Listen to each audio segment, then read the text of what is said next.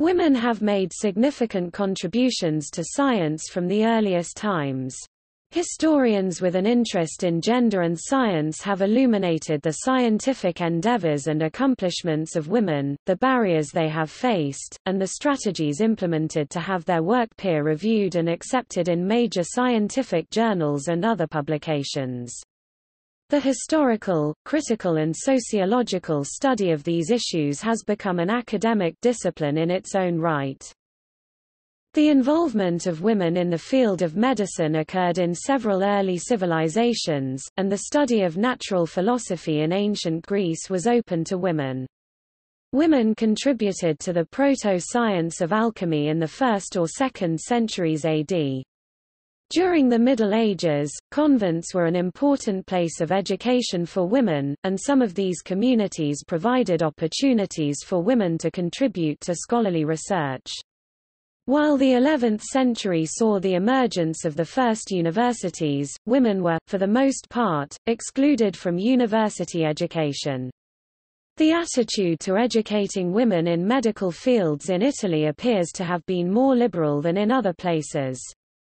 The first known woman to earn a university chair in a scientific field of studies, was 18th-century Italian scientist, Laura Bassi. Although gender roles were largely defined in the 18th century, women experienced great advances in science. During the 19th century, women were excluded from most formal scientific education, but they began to be admitted into learned societies during this period. In the later 19th century, the rise of the Women's College provided jobs for women scientists and opportunities for education. Marie Curie, a physicist and chemist who conducted pioneering research on radioactive decay, was the first woman to receive a Nobel Prize in Physics and became the first person to receive a second Nobel Prize in Chemistry. Forty women have been awarded the Nobel Prize between 1901 and 2010. Seventeen women have been awarded the Nobel Prize in Physics, Chemistry, Physiology or Medicine.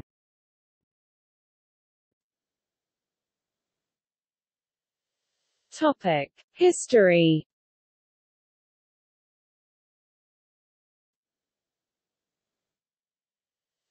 Topic: Cross-cultural perspectives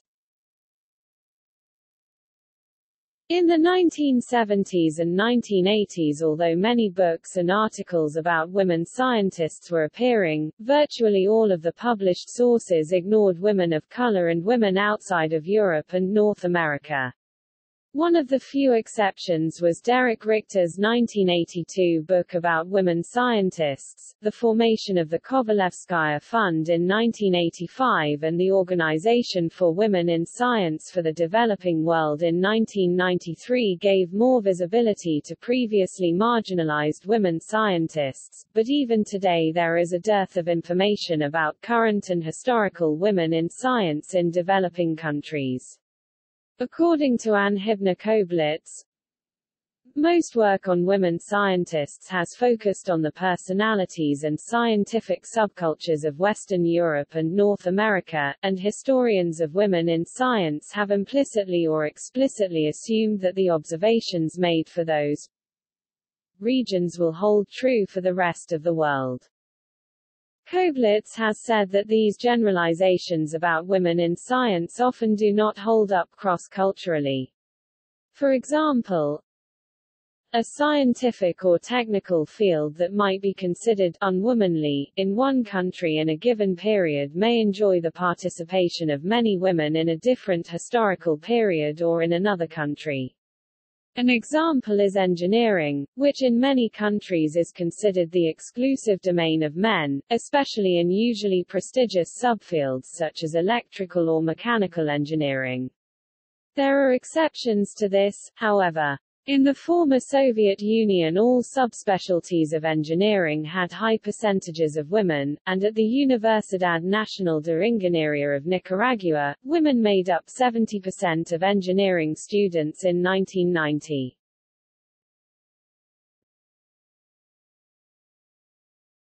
Topic: Ancient history The involvement of women in the field of medicine has been recorded in several early civilizations. An ancient Egyptian, Merit Ptah c. 2700 BC, described in an inscription as chief physician, is the earliest known female scientist named in the history of science. Agamede was cited by Homer as a healer in ancient Greece before the Trojan War, c. 1194 to 1184 BC. Agnodice was the first female physician to practice legally in 4th century BC Athens. The study of natural philosophy in ancient Greece was open to women. Recorded examples include Aglaonike, who predicted eclipses, and Theano, mathematician and physician, who was a pupil, possibly also wife, of Pythagoras, and one of a school in Crotone founded by Pythagoras, which included many other women.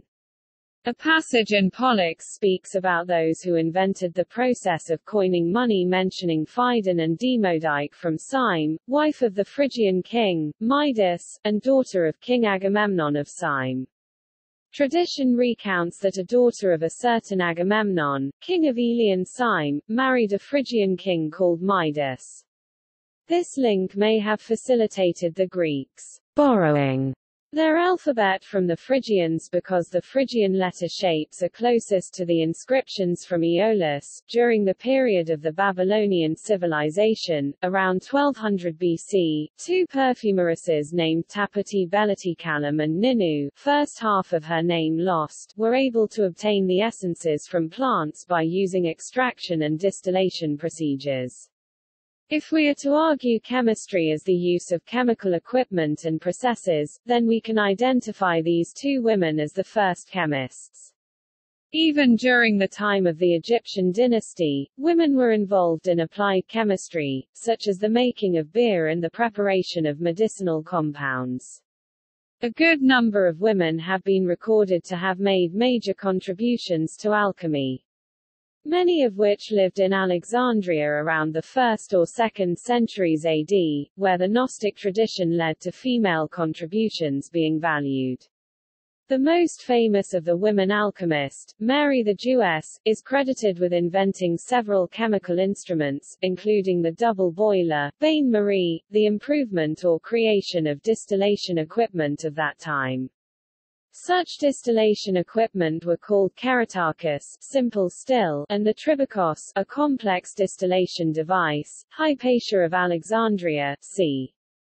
350 to 415 AD, daughter of Theon of Alexandria, was a well-known teacher at the Neoplatonic school in Alexandria teaching astronomy, philosophy, and mathematics. She is recognized to be the first known woman mathematician in history through her major contributions to mathematics. Hypatia is credited with writing three major treatises on geometry, algebra and astronomy, as well as the invention of a hydrometer, an astrolabe, and an instrument for distilling water. There is even evidence that Hypatia gave public lectures and may have held some sort of public office in Alexandria. However, her fruitful life was cut short in 415 AD by Christian zealots, known as Parabolani, who stripped her, dismembered her, and the pieces of her body burned. Some scholars even say her death marked the end of women in science for many hundreds of years.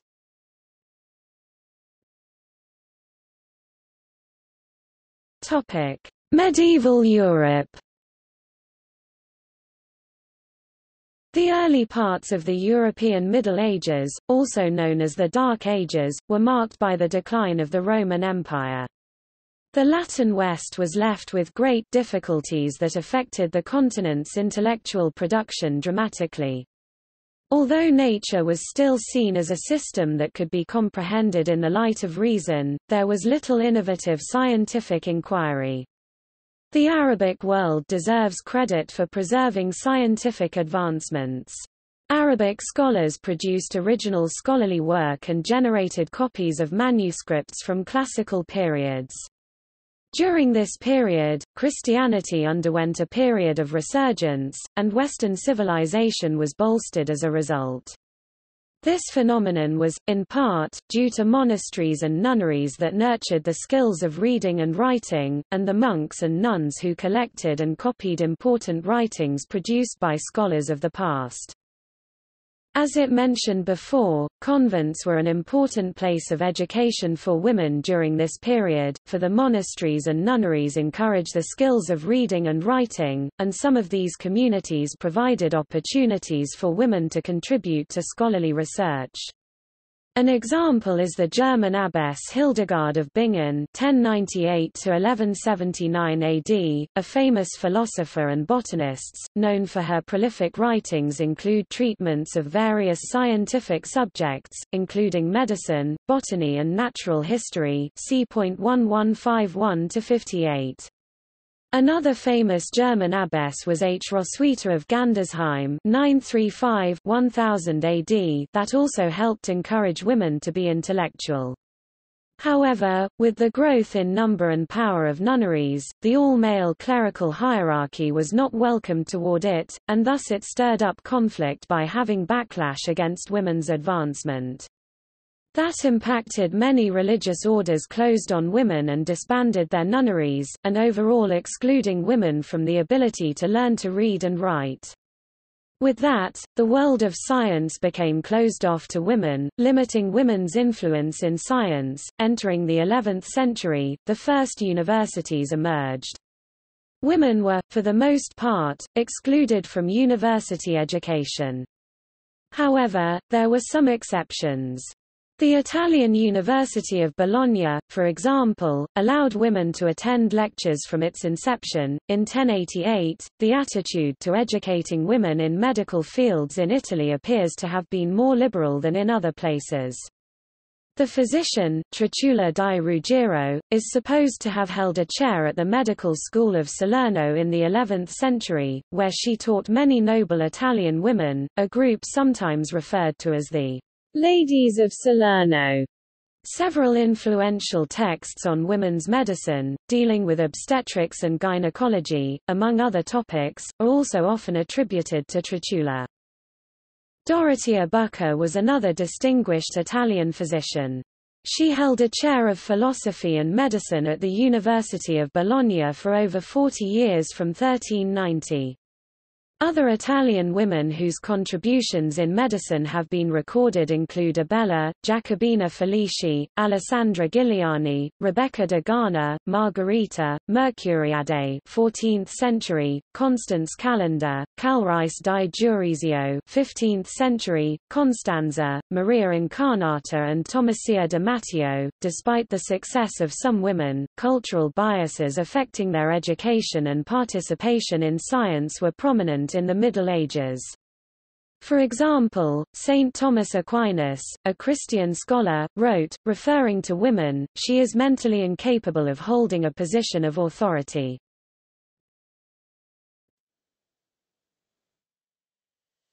Topic: Scientific Revolution 16th and 17th centuries. Margaret Cavendish, a 17th-century aristocrat, took part in some of the most important scientific debates of that time.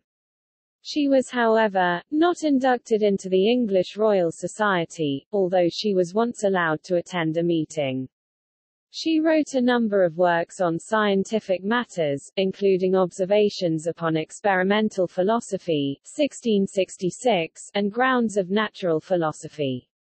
In these works she was especially critical of the growing belief that humans, through science, were the masters of nature. The 1666 work attempted to heighten female interest in science.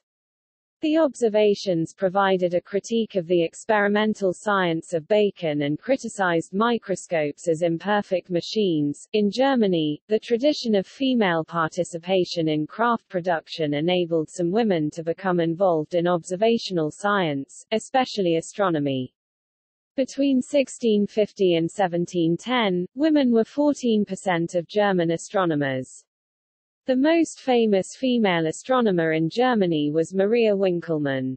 She was educated by her father and uncle and received training in astronomy from a nearby self-taught astronomer.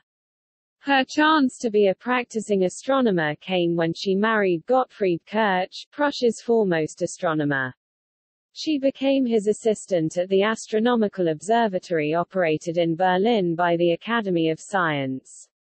She made original contributions, including the discovery of a comet. When her husband died, Winkelmann applied for a position as assistant astronomer at the Berlin Academy, for which she had experience. As a woman, with no university degree, she was denied the post. Members of the Berlin Academy feared that they would establish a bad example by hiring a woman. Mouths would gape. They said, Winkelmann's problems with the Berlin Academy reflect the obstacles women faced in being accepted in scientific work, which was considered to be chiefly for men. No woman was invited to either the Royal Society of London nor the French Academy of Sciences until the 20th century. Most people in the 17th century viewed a life devoted to any kind of scholarship as being at odds with the domestic duties women were expected to perform. A founder of modern botany and zoology, the German Maria Sibylla Merian (1647–1717) spent her life investigating nature. When she was 13, Sibylla began growing caterpillars and studying their metamorphosis into butterflies. She kept a study book, which recorded her investigations into natural philosophy. In her first publication, The New Book of Flowers, she used imagery to catalogue the lives of plants and insects. After her husband died, and her brief stint of living in Suet, she and her daughter journeyed to Paramaribo for two years to observe insects, birds, reptiles, and amphibians. She returned to Amsterdam and published The Metamorphosis of the Insects of Suriname, which revealed to Europeans for the first time the astonishing diversity of the rain forest.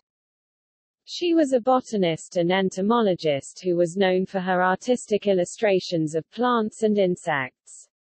Uncommon for that era, she traveled to South America and Suriname, where, assisted by her daughters, she illustrated the plant and animal life of those regions. Overall, the scientific revolution did little to change people's ideas about the nature of women, more specifically, their capacity to contribute to science just as men do.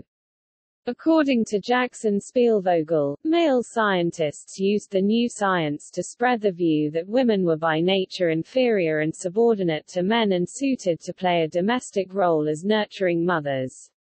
The widespread distribution of books ensured the continuation of these ideas.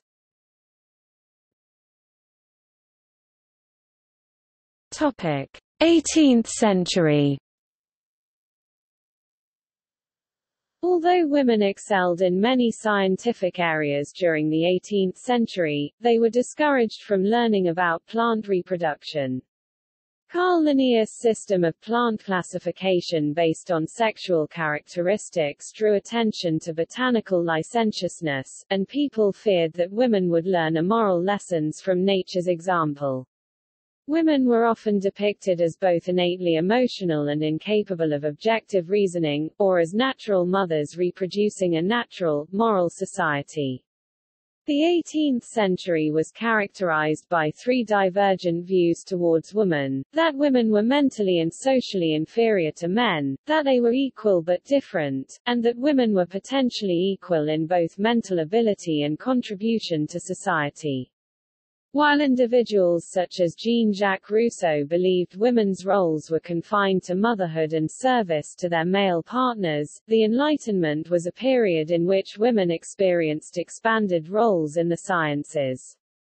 The rise of salon culture in Europe brought philosophers and the conversation to an intimate setting where men and women met to discuss contemporary political, social, and scientific topics.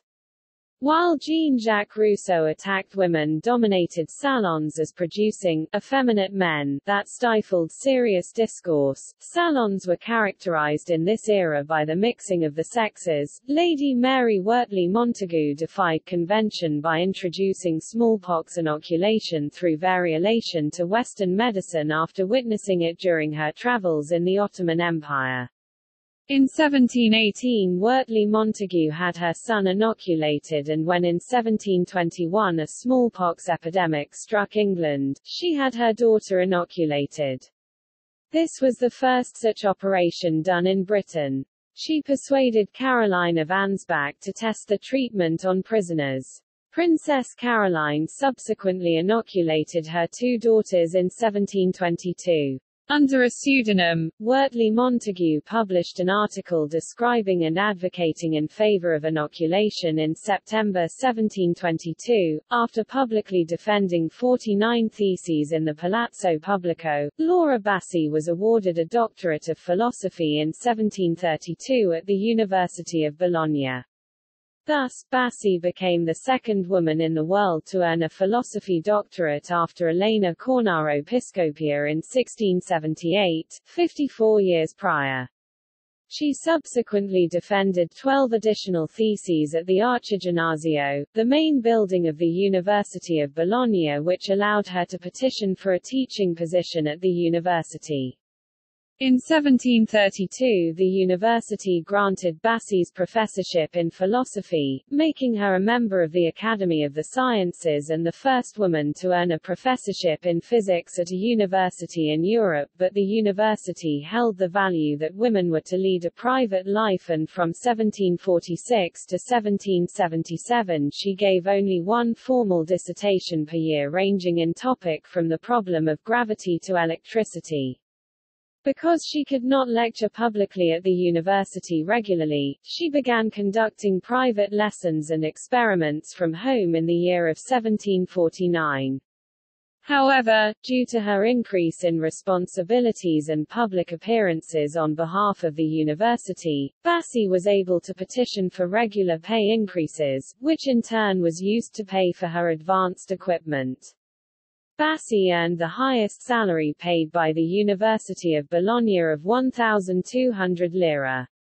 In 1776, at the age of 65, she was appointed to the chair in experimental physics by the Bologna Institute of Sciences with her husband as a teaching assistant. According to Britannica, Maria Gaetana Agnesi is considered to be the first woman in the Western world to have achieved a reputation in mathematics. Quote, she is credited as the first woman to write a mathematics handbook, the Instituzioni Analitiche ad Uso della Gioventù Italiana, Analytical Institutions for the Use of Italian Youth. Published in 1748 it was regarded as the best introduction extant to the works of Euler. The goal of this work was, according to Agnesi herself, to give a systematic illustration of the different results and theorems of infinitesimal calculus. In 1750 she became the second woman to be granted a professorship at a European university. Also appointed to the University of Bologna she never taught there. The German Dorothea Erxleben was instructed in medicine by her father from an early age and Bassi's university professorship inspired Erxleben to fight for her right to practice medicine. In 1742 she published a tract arguing that women should be allowed to attend university. After being admitted to study by a dispensation of Frederick the Great, Erxleben received her MD from the University of Halle in 1754. She went on to analyze the obstacles preventing women from studying, among them housekeeping and children. She became the first female medical doctor in Germany. In 1741–42 Charlotta Frölich became the first woman to be published by the Royal Swedish Academy of Sciences with three books in agricultural science. In 1748 Eva Ekeblad became the first woman inducted into that academy. In 1746 Ekeblad had written to the Academy about her discoveries of how to make flour and alcohol out of potatoes. Potatoes had been introduced into Sweden in 1658, but had been cultivated only in the greenhouses of the aristocracy. Ekeblad's work turned potatoes into a staple food in Sweden, and increased the supply of wheat, rye and barley available for making bread, since potatoes could be used instead to make alcohol. This greatly improved the country's eating habits and reduced the frequency of famines. Ekeblad also discovered a method of bleaching cotton textile and yarn with soap in 1751, and of replacing the dangerous ingredients in cosmetics of the time by using potato flour in 1752. Émilie du Châtelet, a close friend of Voltaire, was the first scientist to appreciate the significance of kinetic energy, as opposed to momentum. She repeated and described the importance of an experiment originally devised by Willem 's Gravesande showing the impact of falling objects is proportional not to their velocity, but to the velocity squared. This understanding is considered to have made a profound contribution to Newtonian mechanics. In 1749 she completed the French translation of Newton's Philosophiae Naturalis Principia Mathematica the Principia, including her derivation of the notion of conservation of energy from its principles of mechanics.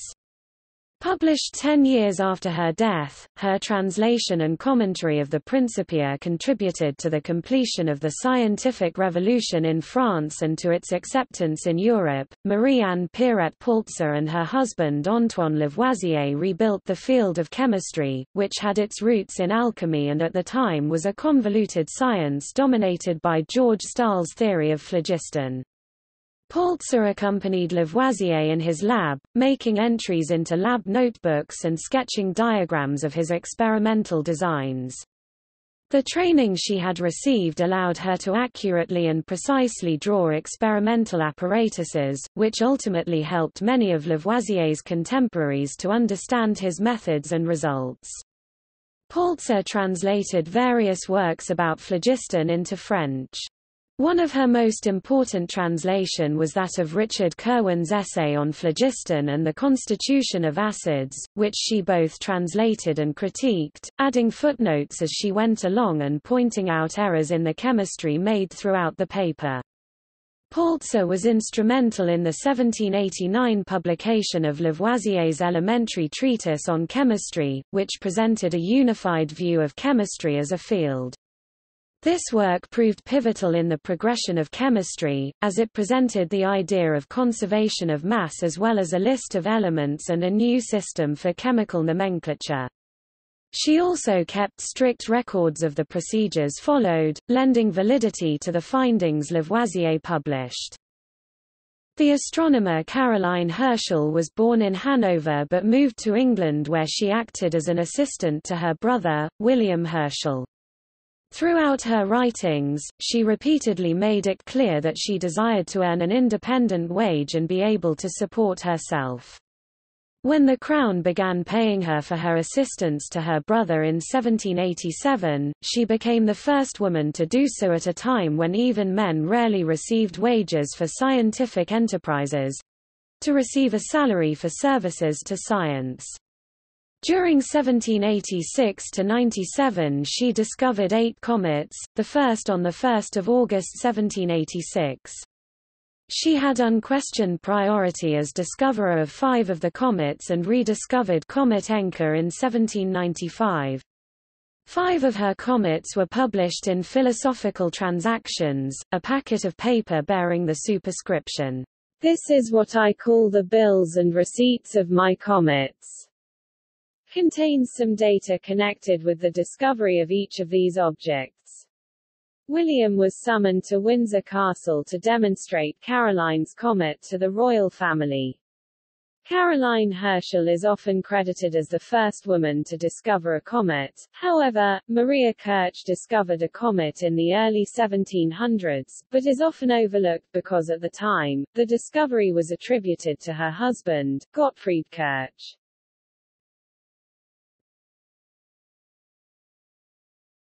Topic: Early 19th century.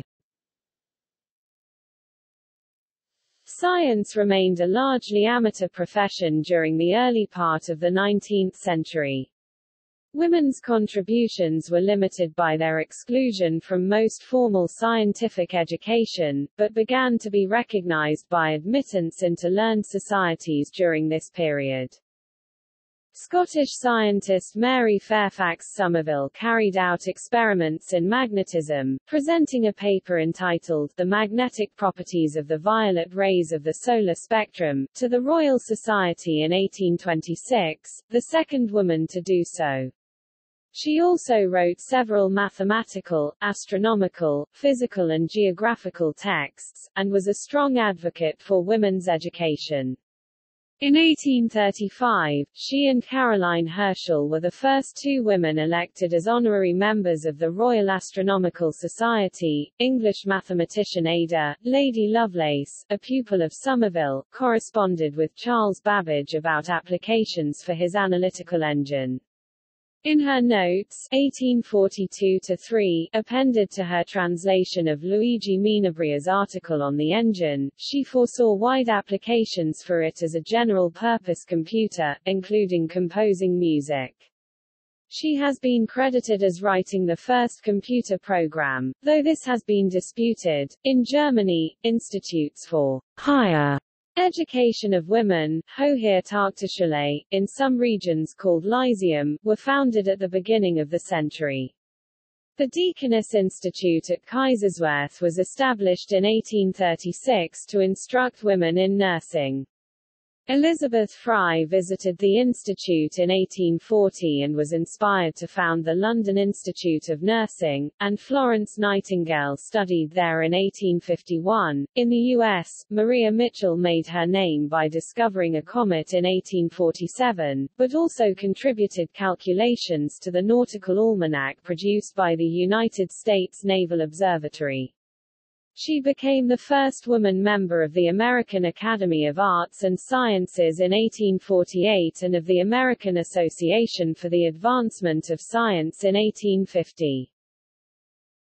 Other notable female scientists during this period include in Britain, Mary Anning, paleontologist, Anna Atkins, botanist, Janet Taylor, astronomer, in France, Marie-Sophie Germain, mathematician, Jeanne Villepreux-Power, marine biologist.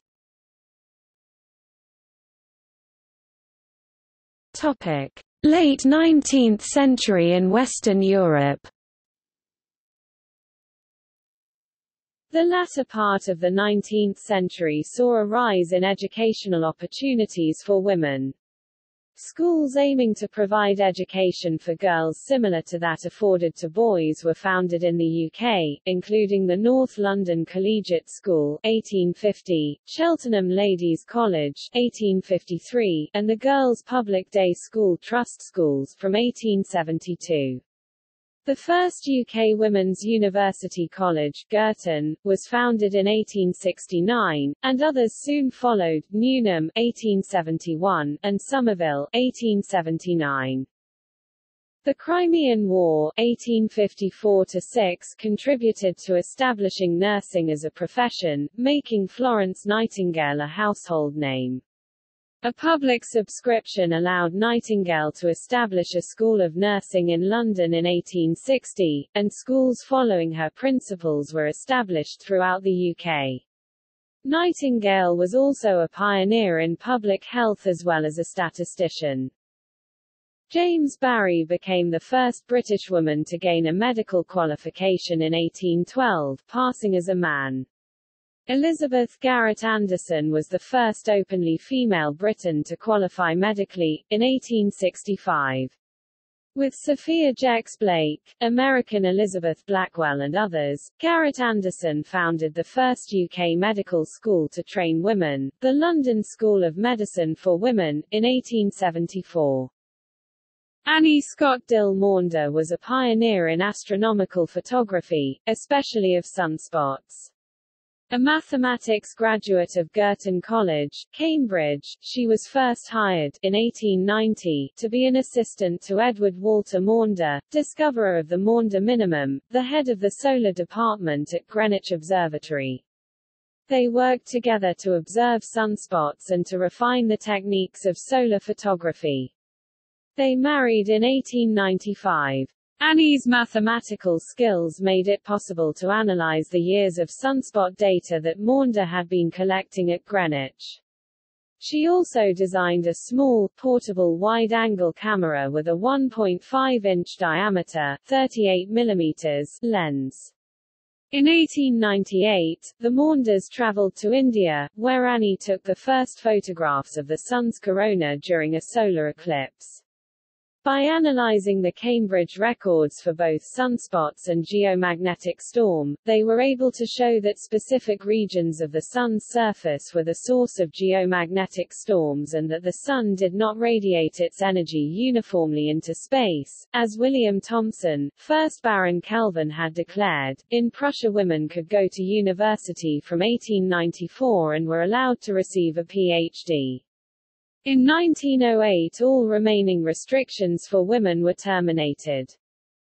Alphonse Rebière published a book in 1897, in France, entitled Les Femmes dans la Science Women in Science, which listed the contributions and publications of women in science. Other notable female scientists during this period include in Britain, Hertha Marks Ayrton, mathematician, engineer, Margaret Huggins, astronomer, Beatrix Potter, mycologist. In France, Dorothea Klumpke Roberts, American-born astronomer. In Germany, Amalia Dietrich, naturalist, Agnes Pockels, physicist. In Russia and Sweden, Sofia Kovalevskaya, mathematician. Topic: Late 19th century Russians. In the second half of the 19th century a large proportion of the most successful women in the STEM fields were Russians. Although many women received advanced training in medicine in the 1870s, in other fields women were barred and had to go to Western Europe, mainly Switzerland, in order to pursue scientific studies. In her book about these women of the 1860s, shestidesiatnitsy as they were called, Anne Hibner Koblitz writes, to a large extent, women's higher education in continental Europe was pioneered by this first generation of Russian women. They were the first students in Zurich, Heidelberg, Leipzig, and elsewhere. Theirs were the first doctorates in medicine, chemistry, mathematics, and biology. Among the successful scientists were Nadezhda Suslova (1843–1918), the first woman in the world to obtain a medical doctorate fully equivalent to men's degrees; Maria Bokova Sechenova (1839–1929), a pioneer of women's medical education who received two doctoral degrees, one in medicine in Zurich and one in physiology in Vienna; Iulia Lermontova (1846–19 1919, the first woman in the world to receive a doctoral degree in chemistry, the marine biologist Sofia Pereyaslavtseva (1849–1903), director of the Sevastopol Biological Station and winner of the Kessler Prize of the Russian Society of Natural Scientists, and the mathematician Sofia Kovalevskaya (1850–1891), the first woman in 19th-century Europe to receive a doctorate in mathematics and the first to become a university professor in any field.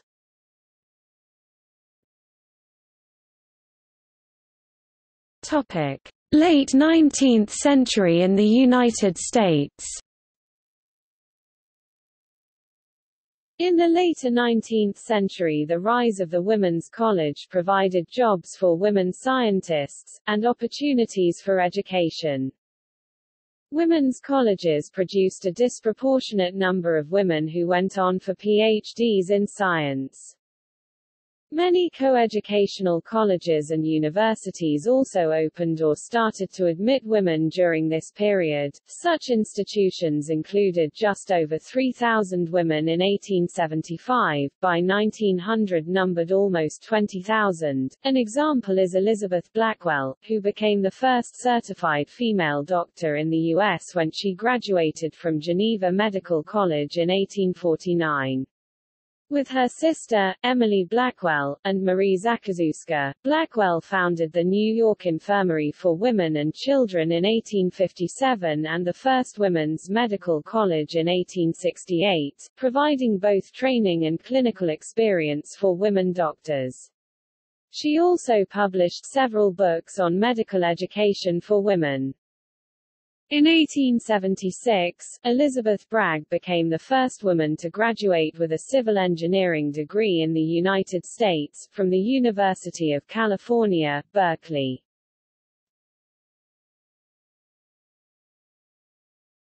Topic. Early 20th century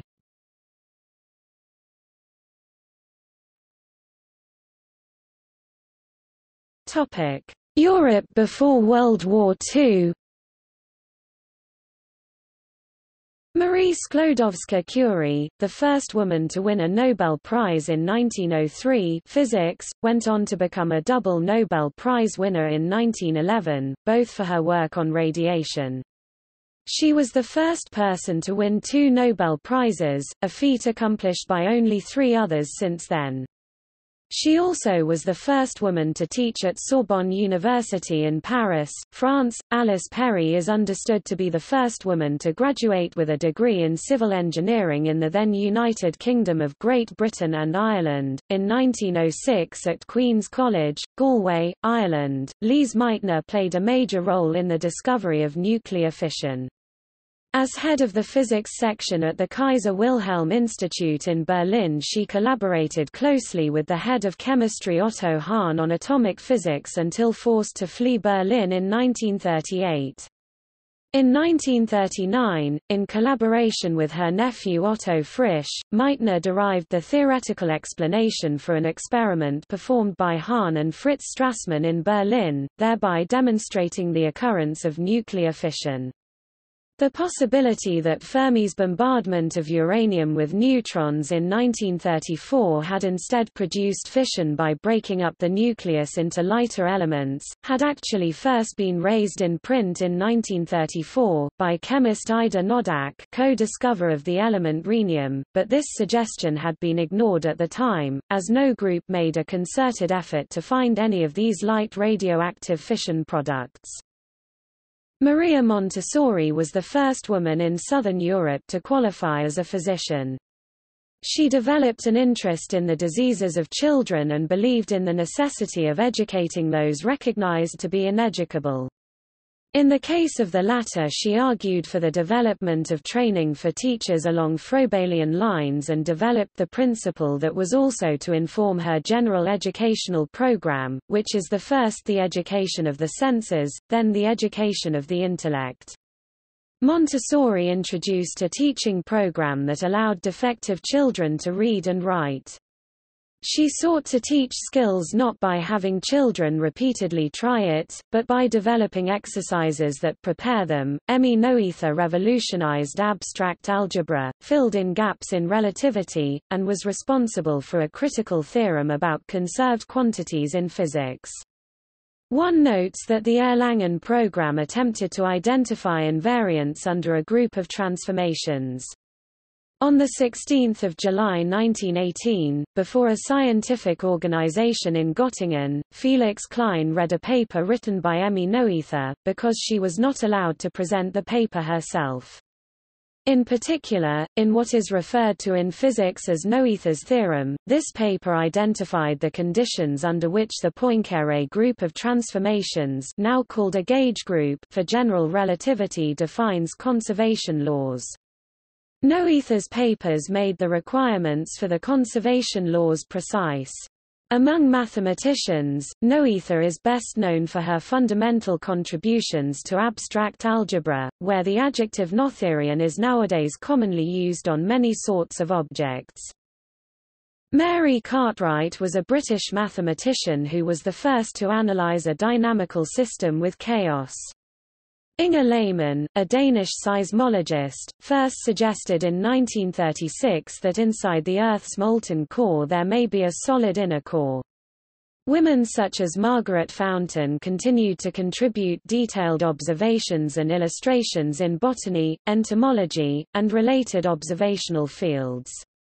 Joan Beauchamp Procter, an outstanding herpetologist, was the first woman curator of reptiles for the Zoological Society of London at London Zoo. Florence Sabin was an American medical scientist. Sabin was the first woman faculty member at Johns Hopkins in 1902, and the first woman full-time professor there in 1917. Her scientific and research experience is notable. Sabin published over 100 scientific papers and multiple books. Topic: United States before World War II Women moved into science in significant numbers by 1900, helped by the women's colleges and by opportunities at some of the new universities. Margaret Rossiter's books Women Scientists in America, Struggles and Strategies to 1940 and Women Scientists in America, Before Affirmative Action 1940–1972 provide an overview of this period, stressing the opportunities women found in separate women's work in science. In 1892, Ellen Swallow Richards called for the christening of a new science, oecology, Ecology in a Boston lecture. This new science included the study of consumer nutrition and environmental education. This interdisciplinary branch of science was later specialized into what is currently known as ecology, while the consumer nutrition focus split off and was eventually relabeled as home economics, which provided another avenue for women to study science. Richards helped to form the American Home Economics Association, which published a journal, the Journal of Home Economics, and hosted conferences. Home economics departments were formed at many colleges, especially at land-grant institutions. In her work at MIT, Ellen Richards also introduced the first biology course in its history as well as the focus area of sanitary engineering. Women also found opportunities in botany and embryology. In psychology, women earned doctorates but were encouraged to specialize in educational and child psychology and to take jobs in clinical settings, such as hospitals and social welfare agencies. In 1901, Annie Jump Cannon first noticed that it was a star's temperature that was the principal distinguishing feature among different spectra. This led to reordering of the ABC types by temperature instead of hydrogen absorption line strength. Due to Cannon's work, most of the then existing classes of stars were thrown out as redundant. Afterward, astronomy was left with the seven primary classes recognized today, in order, O, B, A, F, G, K, M, that has since been extended. Henrietta Swan Leavitt first published her study of variable stars in 1908. This discovery became known as the period luminosity relationship of Cepheid variables. Our picture of the universe was changed forever, largely because of Leavitt's discovery. The accomplishments of Edwin Hubble, renowned American astronomer, were made possible by Leavitt's groundbreaking research and Leavitt's law. If Henrietta Leavitt had provided the key to determine the size of the cosmos, then it was Edwin Powell Hubble who inserted it in the lock and provided the observations that allowed it to be turned. Wrote David H. and Matthew D. H. Clark in their book Measuring the Cosmos. Hubble often said that Leavitt deserved the Nobel for her work. Gösta Mittag Leffler of the Swedish Academy of Sciences had begun paperwork on her nomination in 1924, only to learn that she had died of cancer three years earlier the Nobel Prize cannot be awarded posthumously. In 1925, Harvard graduate student Cecilia Payne Gaposchkin demonstrated for the first time from existing evidence on the spectra of stars that stars were made up almost exclusively of hydrogen and helium, one of the most fundamental theories in stellar astrophysics. Canadian-born Maud Menten worked in the US and Germany. Her most famous work was on enzyme kinetics together with Leonor Michaelis, based on earlier findings of Victor Henri. This resulted in the Michaelis-Menten equations. Menten also invented the azo-dye coupling reaction for alkaline phosphatase, which is still used in histochemistry. She characterized bacterial toxins from B. paratyphosis, Streptococcus scarlatina and Salmonella ssp and conducted the first electrophoretic separation of proteins in 1944. She worked on the properties of hemoglobin, regulation of blood sugar level, and kidney function. World War II brought some new opportunities. The Office of Scientific Research and Development, under Vannevar Bush, began in 1941 to keep a registry of men and women trained in the sciences. Because there was a shortage of workers, some women were able to work in jobs they might not otherwise have accessed. Many women worked on the Manhattan Project or on scientific projects for the United States military services. Women who worked on the Manhattan Project included Leona Woods Marshall, Katharine Way, and Chien-Shiung Wu. Women in other disciplines looked for ways to apply their expertise to the war effort. Three nutritionists, Lydia J. Roberts, Hazel K. Stiebling, and Helen S. Mitchell, developed the recommended dietary allowance in 1941 to help military and civilian groups make plans for group feeding situations. The RDAs proved necessary, especially, once foods began to be rationed. Rachel Carson worked for the United States Bureau of Fisheries, writing brochures to encourage Americans to consume a wider variety of fish and seafood. She also contributed to research to assist the Navy in developing techniques and equipment for submarine detection.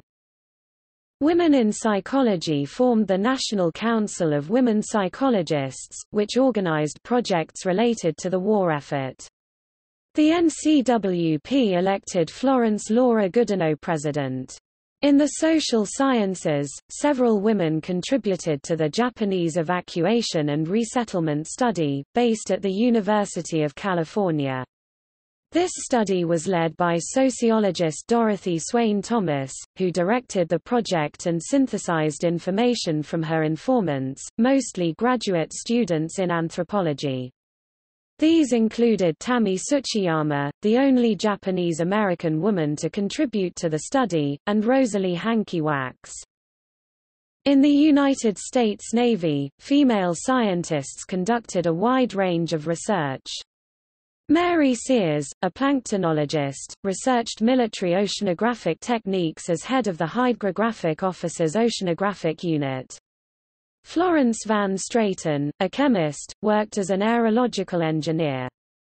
She studied the effects of weather on military combat. Grace Hopper, a mathematician, became one of the first computer programmers for the Mark I computer. Mina Spiegel-Rees, also a mathematician, was the chief technical aide for the Applied Mathematics Panel of the National Defense Research Committee. Gerty Cori was a biochemist who discovered the mechanism by which glycogen, a derivative of glucose, is transformed in the muscles to form lactic acid, and is later reformed as a way to store energy. For this discovery she and her colleagues were awarded the Nobel Prize in 1947, making her the third woman and the first American woman to win a Nobel Prize in Science. She was the first woman ever to be awarded the Nobel Prize in Physiology or Medicine. Cori is among several scientists whose works are commemorated by a U.S. postage stamp.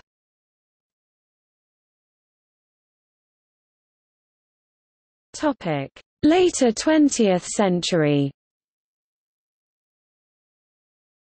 Nina Byers notes that before 1976, fundamental contributions of women to physics were rarely acknowledged.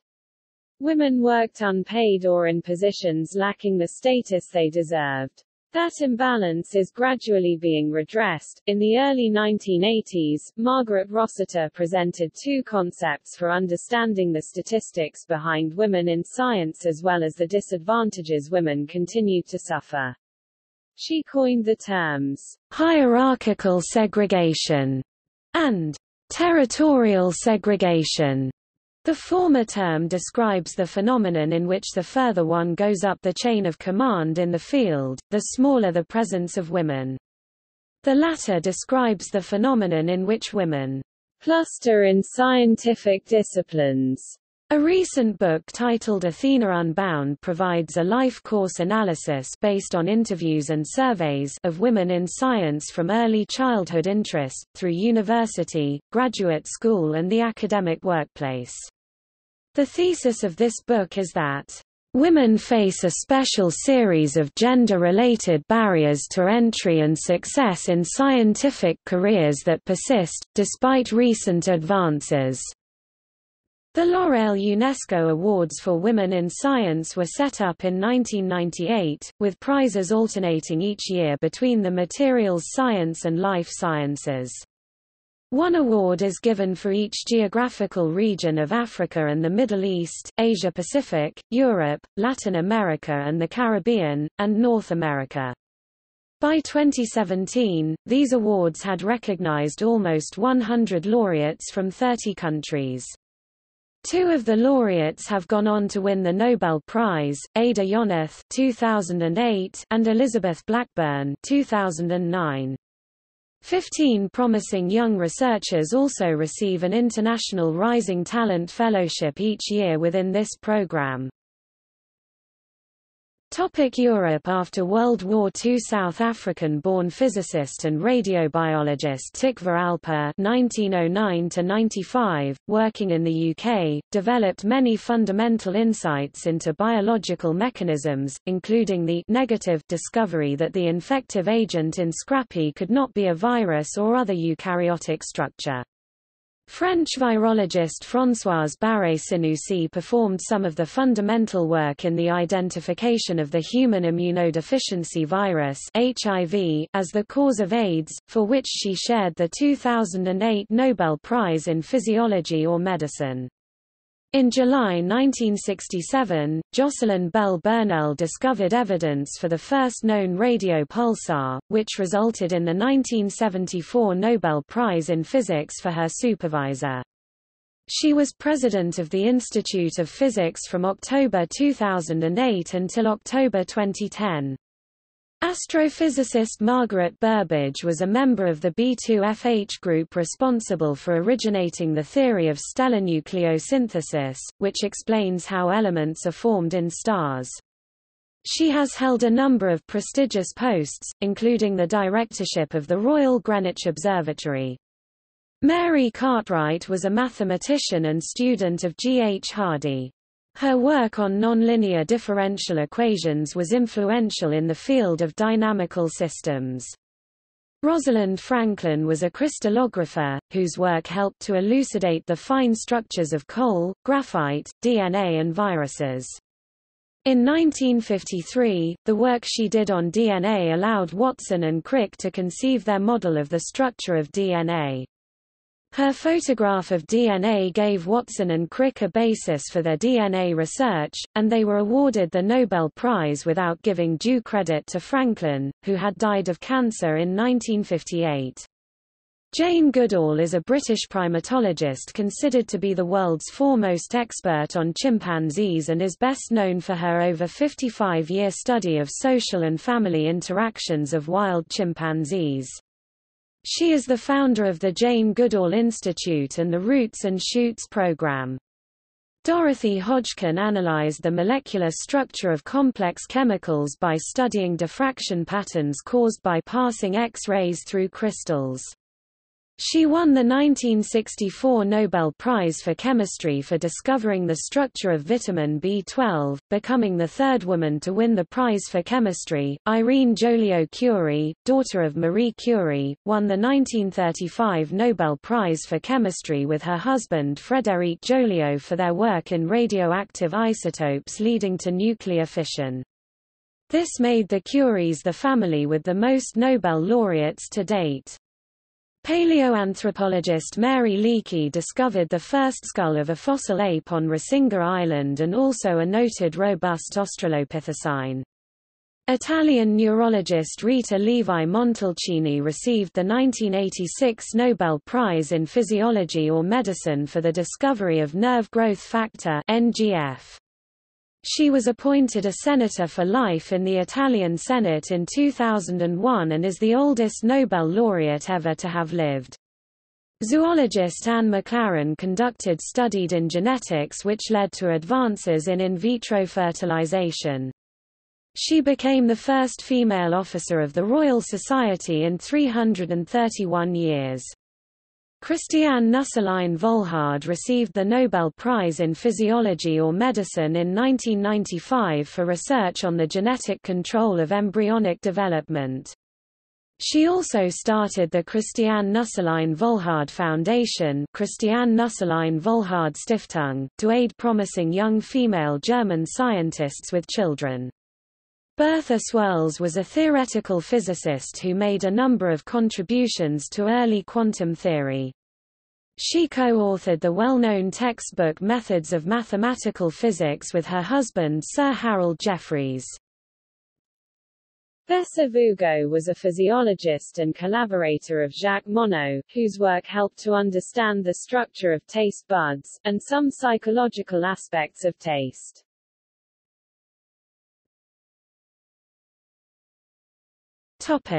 United States after World War II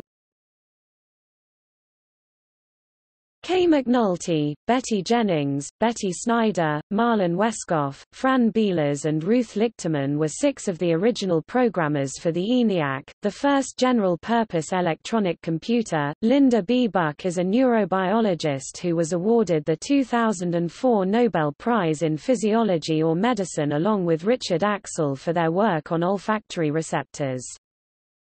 Biologist and activist Rachel Carson published Silent Spring, a work on the dangers of pesticides, in 1962. Eugenie Clark, popularly known as the Shark Lady, was an American ichthyologist known for her research on poisonous fish of the tropical seas and on the behavior of sharks.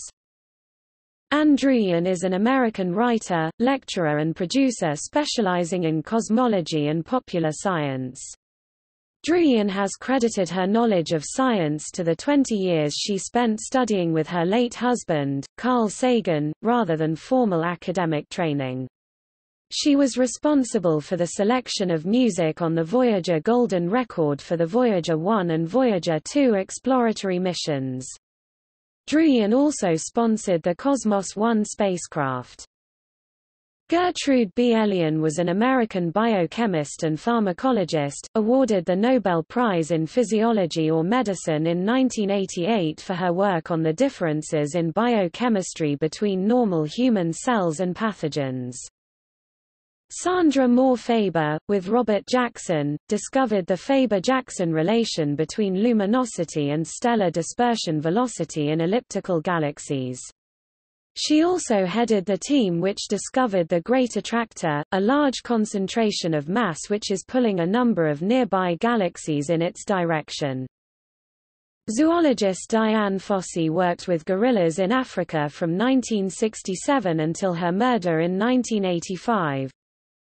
Astronomer Andrea Ghez received a MacArthur Genius Grant in 2008 for her work in surmounting the limitations of earthbound telescopes, Maria Goeppert Mayer was the second female Nobel Prize winner in physics, for proposing the nuclear shell model of the atomic nucleus. Earlier in her career, she had worked in unofficial or volunteer positions at the university where her husband was a professor. Goeppert Mayer is one of several scientists whose works are commemorated by a U.S. postage stamp. Sulamith Low Goldhaber and her husband Gerson Goldhaber formed a research team on the K-meson and other high-energy particles in the 1950s. Carol Greider and the Australian-born Elizabeth Blackburn, along with Jack W. Szostak, received the 2009 Nobel Prize in Physiology or Medicine for the discovery of how chromosomes are protected by telomeres and the enzyme telomerase. Rear Admiral Grace Murray Hopper developed the first computer compiler while working for the Eckert Mauchly Computer Corporation, released in 1952. Deborah S. Jin's team at JILA, in Boulder, Colorado in 2003 produced the first fermionic condensate, a new state of matter. Stephanie Kwolek, a researcher at DuPont, invented polyparaphenylene terephthalamide, better known as Kevlar. Lynn Margulis is a biologist best known for her work on endosymbiotic theory, which is now generally accepted for how certain organelles were formed. Barbara McClintock's studies of maize genetics demonstrated genetic transposition in the 1940s and 1950s. She dedicated her life to her research, and she was awarded the Nobel Prize in Physiology or Medicine in 1983. McClintock is one of several scientists whose works are commemorated by a U.S. postage stamp. Nita Ahuja is a renowned surgeon scientist known for her work on CIMP and cancer. She is currently the chief of surgical oncology at Johns Hopkins Hospital. First woman ever to be the chief of this prestigious department. Carolyn Porco is a planetary scientist best known for her work on the Voyager program and the Cassini-Huygens mission to Saturn. She is also known for her popularization of science, in particular space exploration. Physicist Helen Quinn, with Roberto Peccei, postulated Peccei-Quinn symmetry. One consequence is a particle known as the axion, a candidate for the dark matter that pervades the universe. Quinn was the first woman to receive the Dirac Medal and the first to receive the Oscar Klein Medal. Lisa Randall is a theoretical physicist and cosmologist, best known for her work on the Randall-Sundrum model. She was the first tenured female physics professor at Princeton University.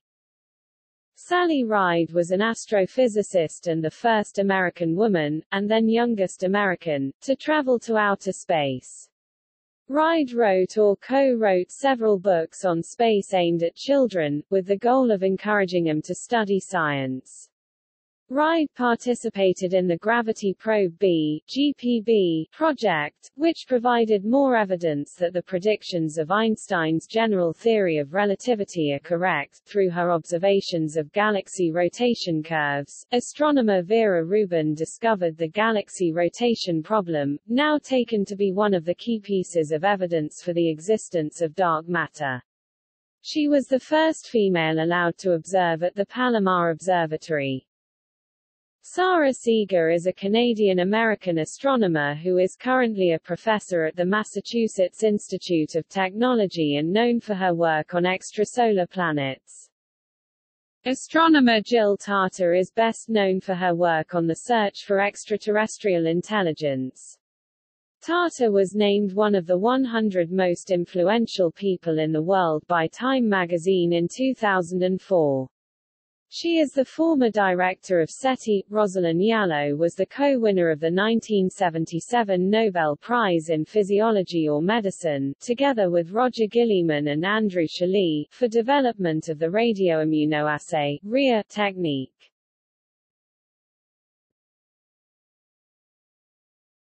Topic: Australia after World War II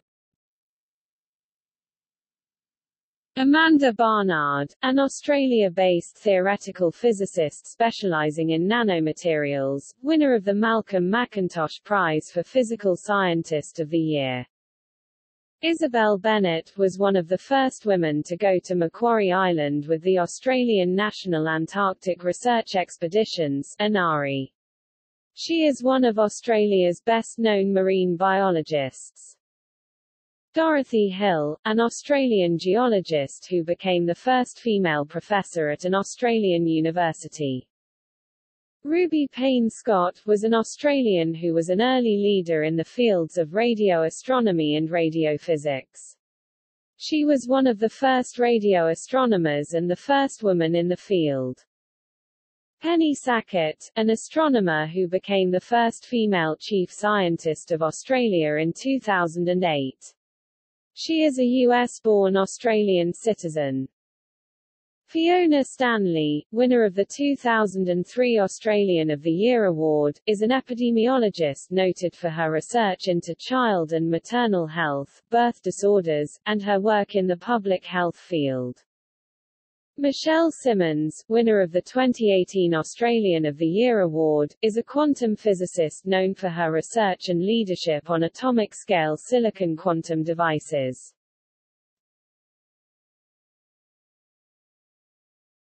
Topic: Israel after World War II.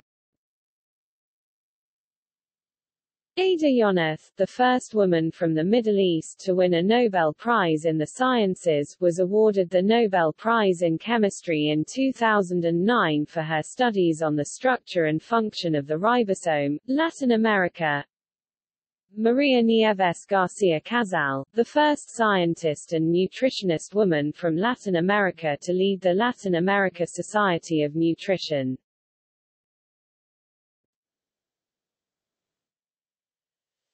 Topic: Nobel laureates The Nobel Prize and Prize in Economic Sciences have been awarded to women 49 times between 1901 and 2017. One woman, Marie Sklodowska-Curie, has been honored twice with the 1903 Nobel Prize in Physics and the 1911 Nobel Prize in Chemistry. This means that 48 women in total have been awarded the Nobel Prize between 1901 and 2010. 18 women have been awarded the Nobel Prize in Physics, Chemistry, Physiology or Medicine.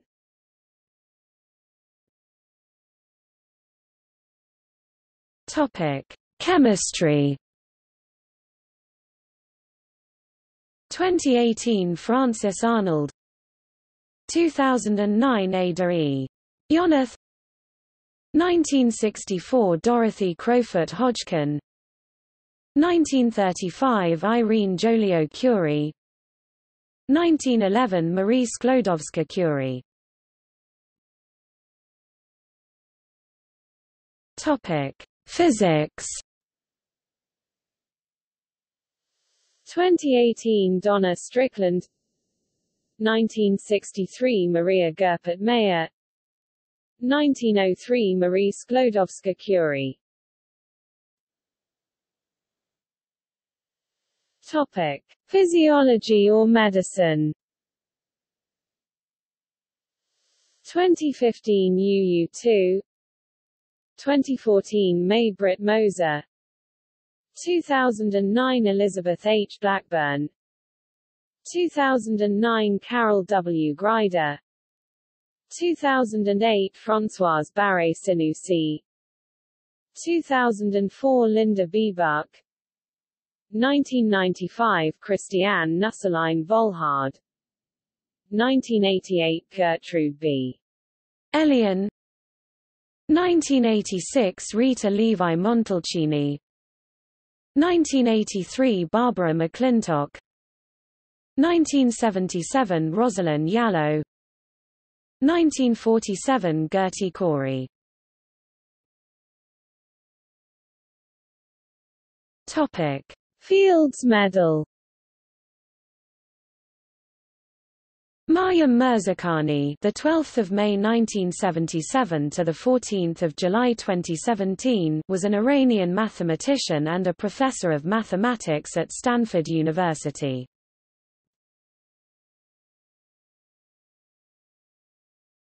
Topic: Statistics.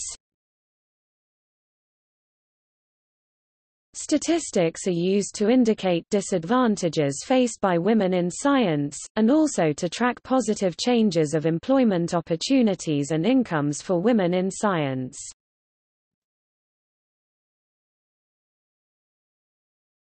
Topic. Situation in the 1990s Women appear to do less well than men in terms of degree, rank, and salary in the fields that have been traditionally dominated by women, such as nursing.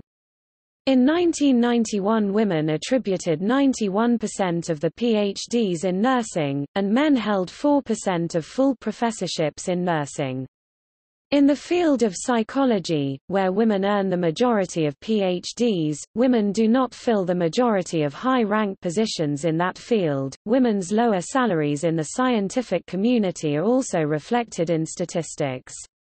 According to the data provided in 1993, the median salaries of female scientists and engineers with doctoral degrees were 20% less than men. This data can be explained as there was less participation of women in high-rank scientific fields, positions and a female majority in low-paid fields, positions.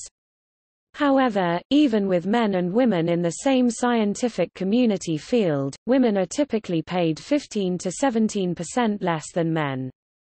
In addition to the gender gap, there were also salary differences between ethnicity. African American women with more years of experiences earn 3.4% less than European American women with similar skills, while Asian women engineers out-earn both Africans and Europeans. Women are also underrepresented in the sciences as compared to their numbers in the overall working population.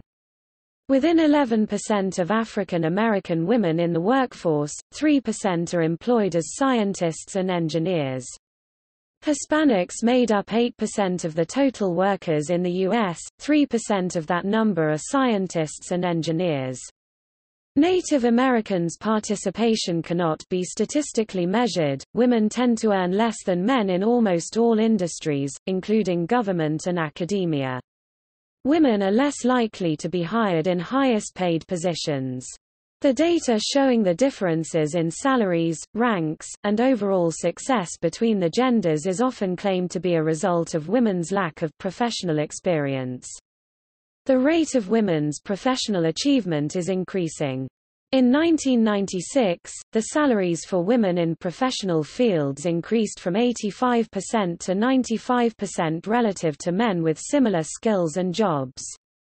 Young women between the age of 27 and 33 earned 98%, nearly as much as their male peers.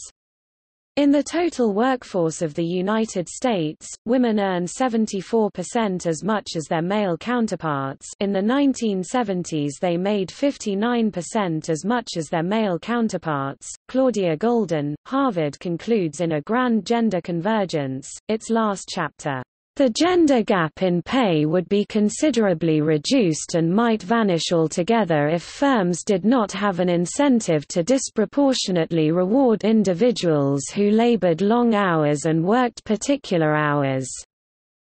Research on women's participation in the hard sciences such as physics and computer science speaks of the leaky pipeline model, in which the proportion of women on track to potentially becoming top scientists fall off at every step of the way, from getting interested in science and maths in elementary school, through doctorate, postdoctoral, and career steps.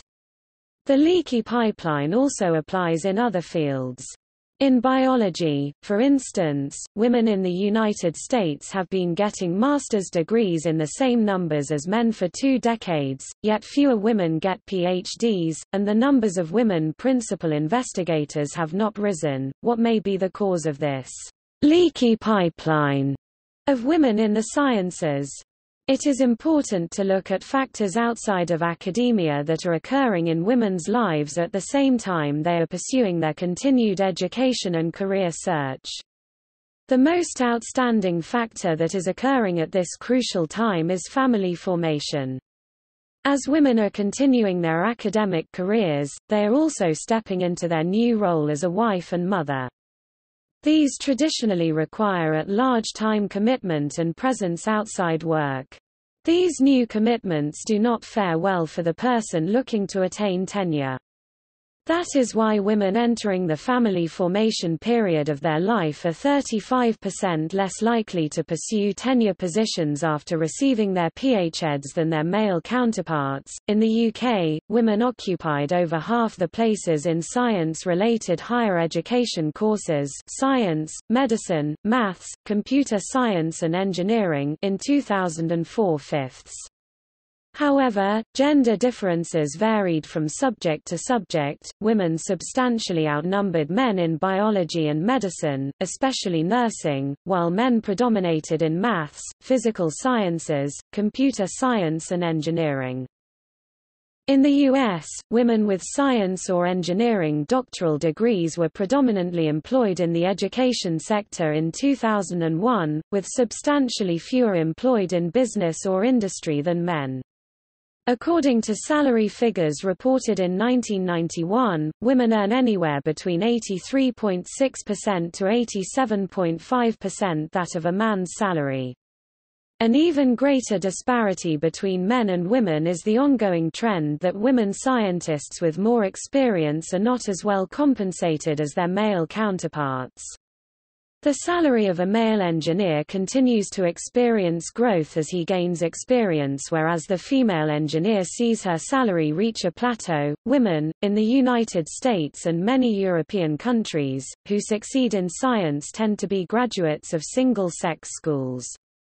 Women earn 54% of all bachelor's degrees in the United States and 50% of those are in science. 9% of U.S. physicists are women.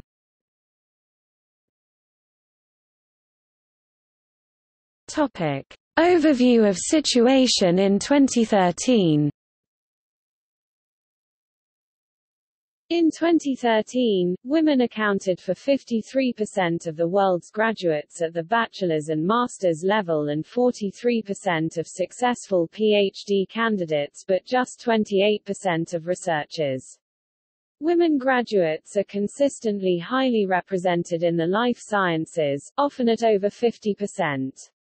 However, their representation in the other fields is inconsistent. In North America and much of Europe, few women graduate in physics, mathematics and computer science but, in other regions, the proportion of women may be close to parity in physics or mathematics.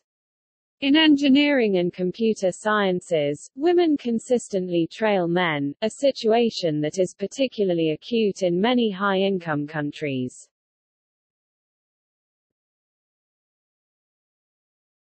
Topic: Women in decision-making Each step up the ladder of the scientific research system sees a drop in female participation until, at the highest echelons of scientific research and decision-making, there are very few women left. In 2015, the EU Commissioner for Research, Science and Innovation Carlos Moedas called attention to this phenomenon, adding that the majority of entrepreneurs in science and engineering tended to be men. In Germany, the coalition agreement signed in 2013 introduces a 30% quota for women on company boards of directors. Although data for most countries are limited, we know that women made up 14% of university chancellors and vice-chancellors at Brazilian public universities in 2010 and 17% of those in South Africa in 2011. In Argentina, women make up 16% of directors and vice-directors of national research centers and, in Mexico, 10% of directors of scientific research institutes at the National Autonomous University of Mexico. In the U.S., numbers are slightly higher at 23%. In the EU, less than 16% of tertiary institutions were headed by a woman in 2010 and just 10% of universities. At the main tertiary institution for the English-speaking Caribbean, the University of the West Indies, women represented 51% of lecturers but only 32% of senior lecturers and 26% of full professors in 2011. Two reviews of National Academies of Science produce similarly low numbers, with women accounting for more than 25% of members in only a handful of countries, including Cuba, Panama and South Africa. The figure for Indonesia was 17%. Topic: Women in life sciences. In life sciences, women researchers have achieved parity 45 to 55% of researchers in many countries. In some, the balance even now tips in their favor. Six out of ten researchers are women in both medical and agricultural sciences in Belarus and New Zealand, for instance. More than two-thirds of researchers in medical sciences are women in El Salvador, Estonia, Kazakhstan, Latvia, the Philippines, Tajikistan, Ukraine and Venezuela. There has been a steady increase in female graduates in agricultural sciences since the turn of the century. In sub-Saharan Africa, for instance, numbers of female graduates in agricultural science have been increasing steadily, with eight countries reporting a share of women graduates of 40% or more, Lesotho, Madagascar, Mozambique, Namibia, Sierra Leone, South Africa, Swaziland and Zimbabwe. The reasons for this surge are unclear, although one explanation may lie in the growing emphasis on national food security and the food industry. Another possible explanation is that women are highly represented in biotechnology. For example, in South Africa, women were underrepresented in engineering 16% in 2004 and in natural scientific professions 16% in 2006 but made up 52% of employees working in biotechnology-related companies. Women play an increasing role in environmental sciences and conservation biology. In fact women played a foremost role in the development of these disciplines. Silent Spring by Rachel Carson proved an important impetus to the conservation movement and the later banning of chemical pesticides. Women played an important role in conservation biology including the famous work of Dian Fossey, who published the famous Gorillas in the Mist and Jane Goodall who studied primates in East Africa. Today women make up an increasing proportion of roles in the active conservation sector. A recent survey of those working in the wildlife trusts in the UK, the leading conservation organisation in England, found that there are nearly as many women as men in practical conservation roles.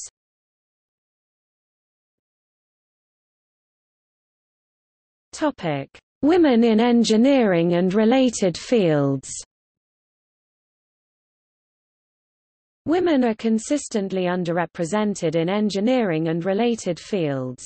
In Israel, for instance, where 28% of senior academic staff are women, there are proportionately many fewer in engineering 14%, physical sciences 11%, mathematics and computer sciences 10%, but dominate education 52% and paramedical occupations 63%. In Japan and the Republic of Korea, women represent just 5% and 10% of engineers. For women who are pursuing STEM major careers, these individuals often face gender disparities in the work field, especially in regards to science and engineering. It has become more common for women to pursue undergraduate degrees in science, but are continuously discredited in salary rates and higher ranking positions. For example, men show a greater likelihood of being selected for an employment position than a woman. In Europe and North America, the number of female graduates in engineering, physics, mathematics and computer science is generally low. Women make up just 19% of engineers in Canada, Germany and the US and 22% in Finland, for example. However, 50% of engineering graduates are women in Cyprus, 38% in Denmark and 36% in the Russian Federation. For instance, in many cases, engineering has lost ground to other sciences, including agriculture. The case of New Zealand is fairly typical. Here, women jumped from representing 39% to 70% of agricultural graduates between 2000 and 2012, continued to dominate health 80 to 78%, but ceded ground in science 43 to 39% and engineering 33 to 27%. In a number of developing countries, there is a sizable proportion of women engineers. At least three out of ten engineers are women, for instance, in Costa Rica, Vietnam and the United Arab Emirates 31%, Algeria 32%, Mozambique 34%, Tunisia 41% and Brunei Darussalam 42%. In Malaysia 50% and Oman 53%, women are on a par with men. Of the 13 sub-Saharan countries reporting data, seven have observed substantial increases more than 5% in women engineers since 2000, namely, Benin, Burundi, Eritrea, Ethiopia, Madagascar, Mozambique and Namibia. Of the seven Arab countries reporting data, four observe a steady percentage or an increase in female engineers Morocco, Oman, Palestine and Saudi Arabia. In the United Arab Emirates, the government has made it a priority to develop a knowledge economy, having recognized the need for a strong human resource base in science, technology and engineering. With just 1% of the labor force being Emirati, it is also concerned about the low percentage of Emirati citizens employed in key industries. As a result, it has introduced policies promoting the training and employment of Emirati citizens, as well as a greater participation of Emirati women in the labor force. Emirati female engineering students have said that they are attracted to a career in engineering for reasons of financial independence, the high social status associated with this field, the opportunity to engage in creative and challenging projects and the wide range of career opportunities. An analysis of computer science shows a steady decrease in female graduates since 2000 that is particularly marked in high-income countries. Between 2000 and 2012, the share of women graduates in computer science slipped in Australia, New Zealand, the Republic of Korea and USA. In Latin America and the Caribbean, the share of women graduates in computer science dropped by between 2 and 13 percentage points over this period for all countries reporting data, there are exceptions. In Denmark, the proportion of female graduates in computer science increased from 15% to 24% between 2000 and 2012 and Germany saw an increase from 10% to 17%. These are still very low levels. Figures are higher in many emerging economies. In Turkey, for instance, the proportion of women graduating in computer science rose from a relatively high 29% to 33% between 2000 and 2012. The Malaysian information technology IT sector is made up equally of women and men, with large numbers of women employed as university professors and in the private sector.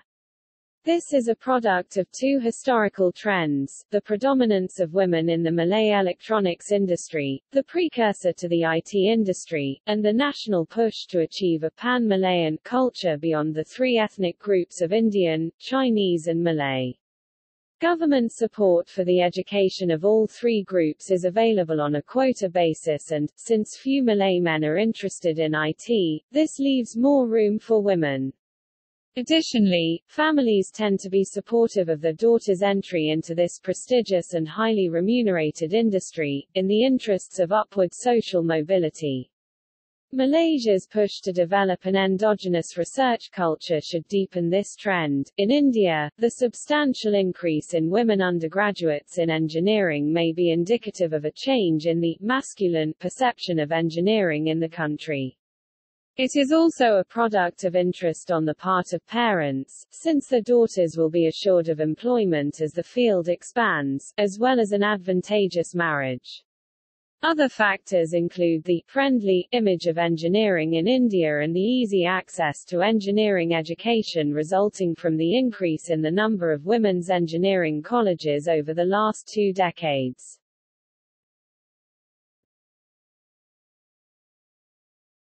Topic: Regional trends as of 2013. The global figures mask wide disparities from one region to another.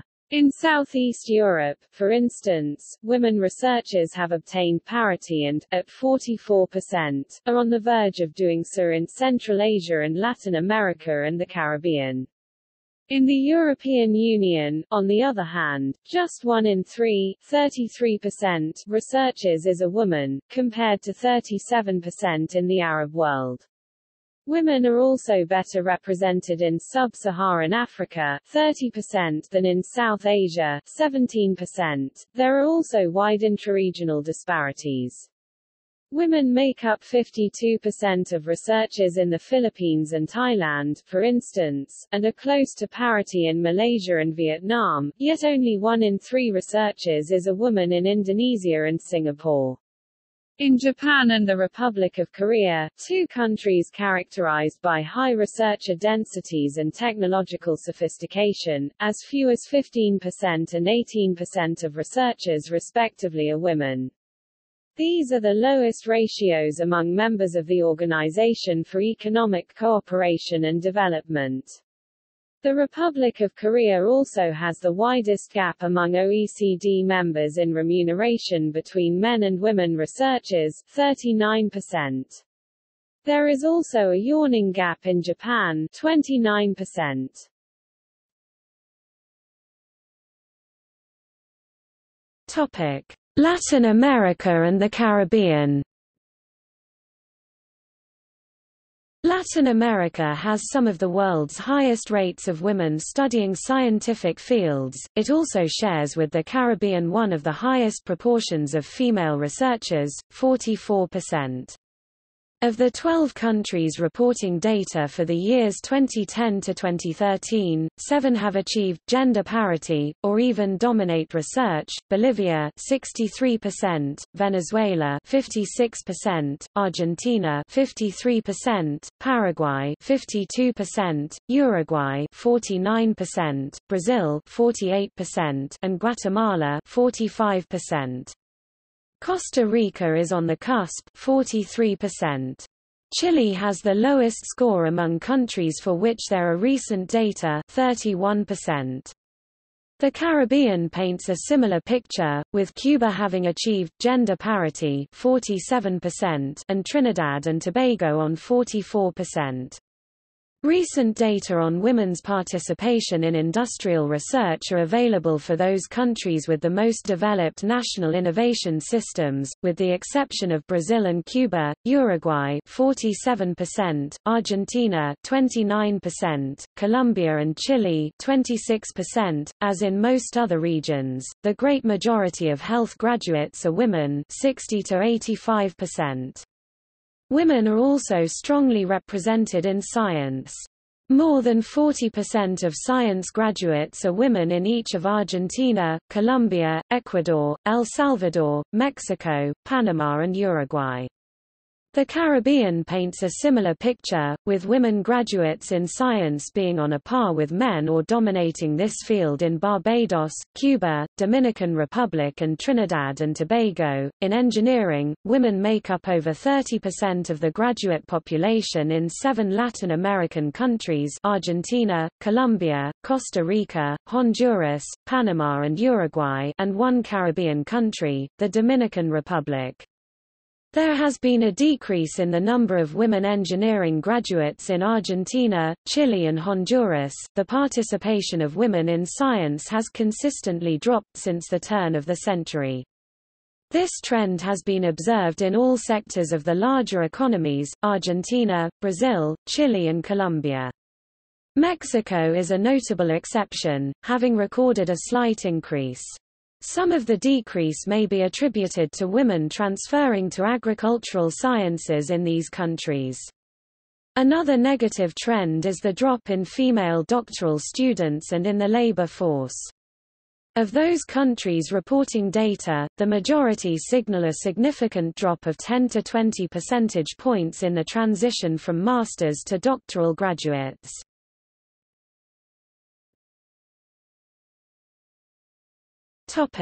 Eastern Europe, West and Central Asia. Most countries in Eastern Europe, West and Central Asia have attained gender parity in research Armenia, Azerbaijan, Georgia, Kazakhstan, Mongolia and Ukraine, or are on the brink of doing so, Kyrgyzstan and Uzbekistan. This trend is reflected in tertiary education, with some exceptions in engineering and computer science. Although Belarus and the Russian Federation have seen a drop over the past decade, women still represented 41% of researchers in 2013. In the former Soviet states, women are also very present in the business enterprise sector. Bosnia and Herzegovina 59%, Azerbaijan 57%, Kazakhstan 50%, Mongolia 48%, Latvia 48%, Serbia 46%, Croatia and Bulgaria 43%, Ukraine and Uzbekistan 40%, Romania and Montenegro 38%, Belarus 37%, Russian Federation 37%, 1 in 3 researchers is a woman in Turkey 36%, and Tajikistan 34%. Participation rates are lower in Iran 26% and Israel 21%, although Israeli women represent 28% of senior academic staff. At university, Israeli women dominate medical sciences 63%, but only a minority study engineering 14%, physical sciences 11%, mathematics and computer science 10%. There has been an interesting evolution in Iran. Whereas the share of female PhD graduates in health remained stable at 38 to 39% between 2007 and 2012, it rose in all three other broad fields. Most spectacular was the leap in female PhD graduates in agricultural sciences from 4% to 33% but there was also a marked progression in science from 28% to 39% and engineering, from 8% to 16%.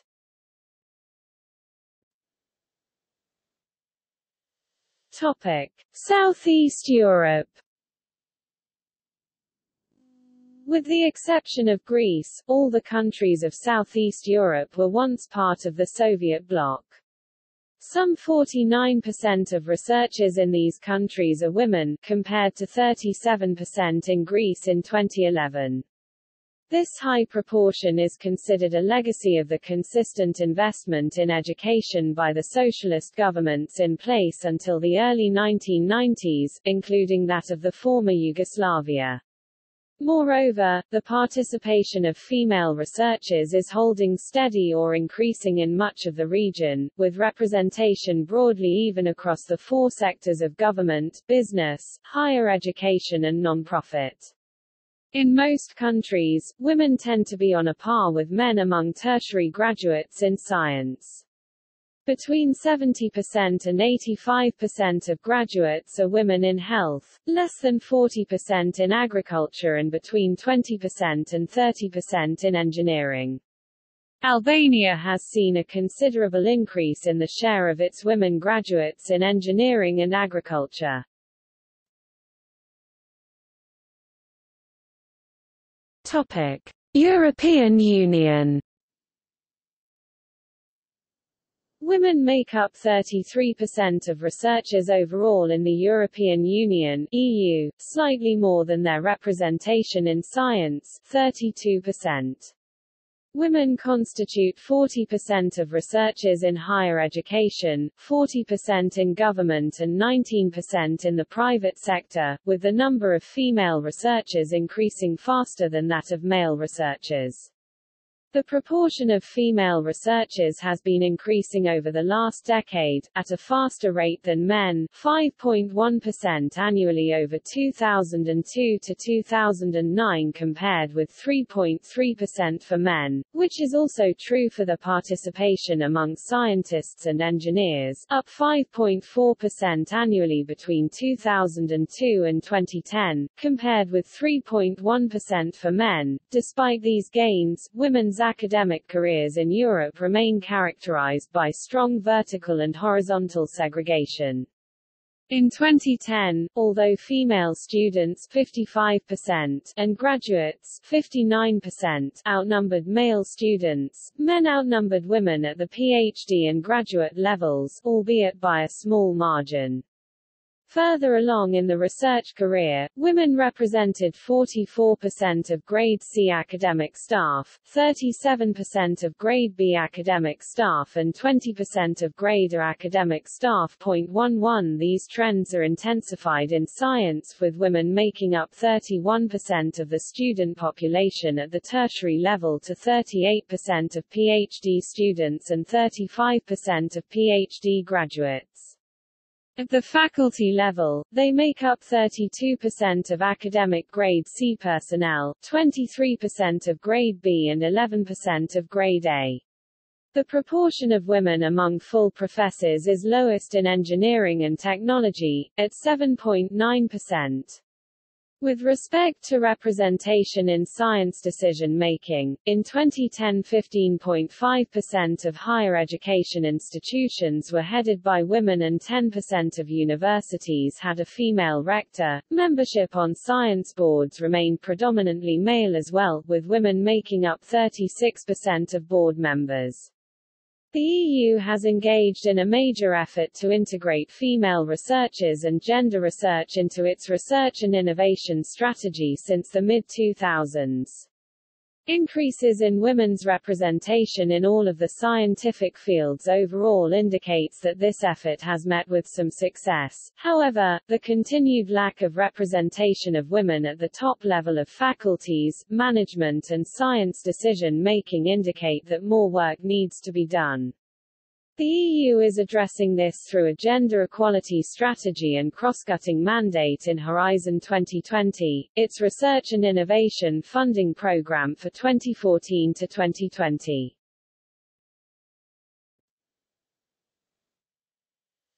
Topic: Australia, New Zealand and USA. In 2013, women made up the majority of PhD graduates in fields related to health in Australia 63%, New Zealand 58%, and the United States of America 73%. The same can be said of agriculture, in New Zealand's case, 73%. Women have also achieved parity in agriculture in Australia 50% and the United States 44%. Just one in five women graduate in engineering in the latter two countries, a situation that has not changed over the past decade. In New Zealand, women jumped from constituting 39% to 70% of agricultural graduates all levels between 2000 and 2012 but ceded ground in science 43 to 39%, engineering 33 to 27%, and health 80 to 78%. As for Canada, it has not reported sex disaggregated data for women graduates in science and engineering in recent years. Moreover, none of the four countries mentioned here have reported recent data on the share of female researchers.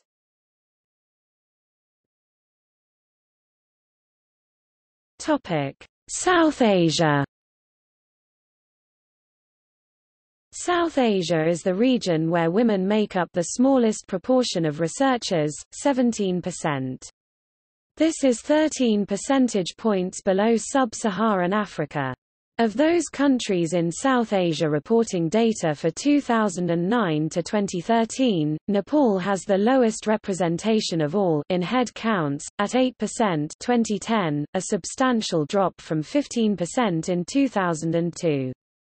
In 2013, only 14% of researchers in full-time equivalents were women in the region's most populous country, India, down slightly from 15% in 2009. The percentage of female researchers is highest in Sri Lanka 39%, followed by Pakistan, 24% in 2009, 31% in 2013. There are no recent data available for Afghanistan or Bangladesh. Women are most present in the private non-profit sector, they make up 60% of employees in Sri Lanka, followed by the academic sector, 30% of Pakistani and 42% of Sri Lankan female researchers. Women tend to be less present in the government sector and least likely to be employed in the business sector, accounting for 23% of employees in Sri Lanka, 11% in India and just 5% in Nepal. Women have achieved parity in science in both Sri Lanka and Bangladesh but are less likely to undertake research in engineering. They represent 17% of the research pool in Bangladesh and 29% in Sri Lanka. Many Sri Lankan women have followed the global trend of opting for a career in agricultural sciences 54%, and they have also achieved parity in health and welfare. In Bangladesh, just over 30% choose agricultural sciences and health, which goes against the global trend. Although Bangladesh still has progress to make, the share of women in each scientific field has increased steadily over the past decade.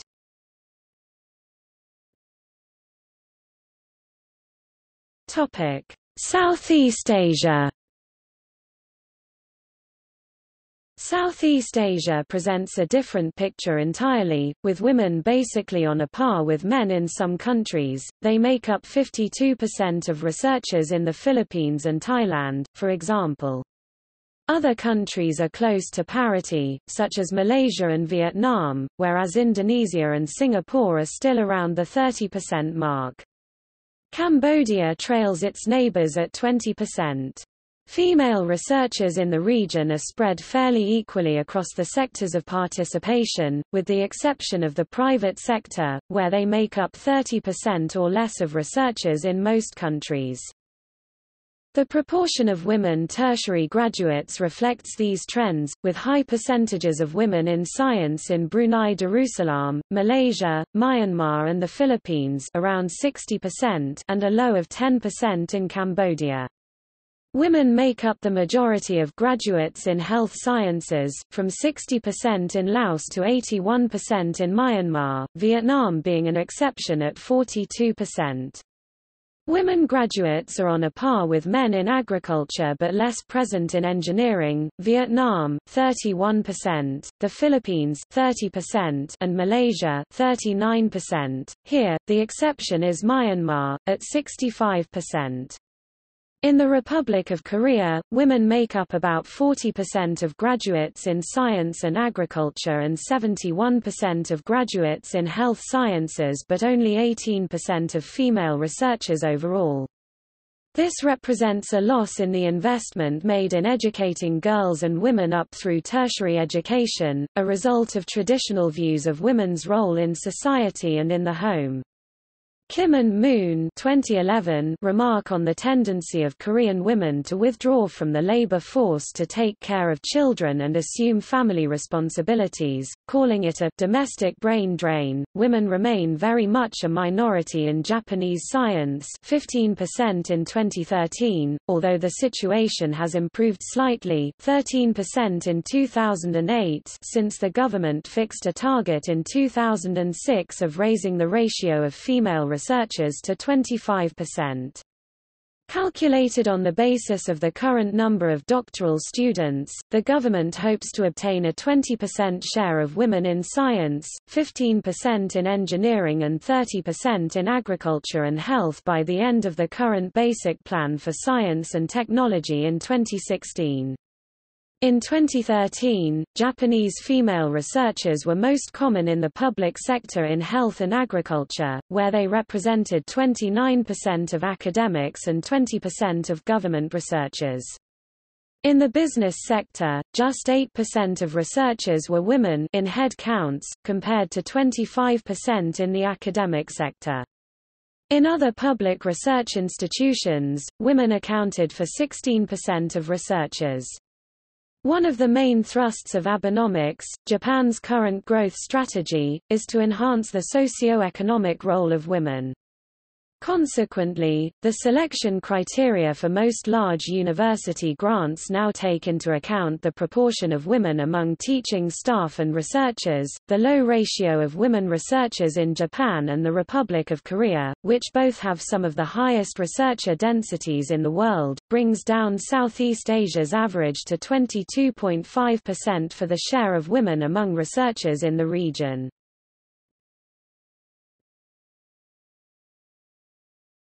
Topic: Arab states. At 37%, the share of female researchers in the Arab states compares well with other regions. The countries with the highest proportion of female researchers are Bahrain and Sudan at around 40%.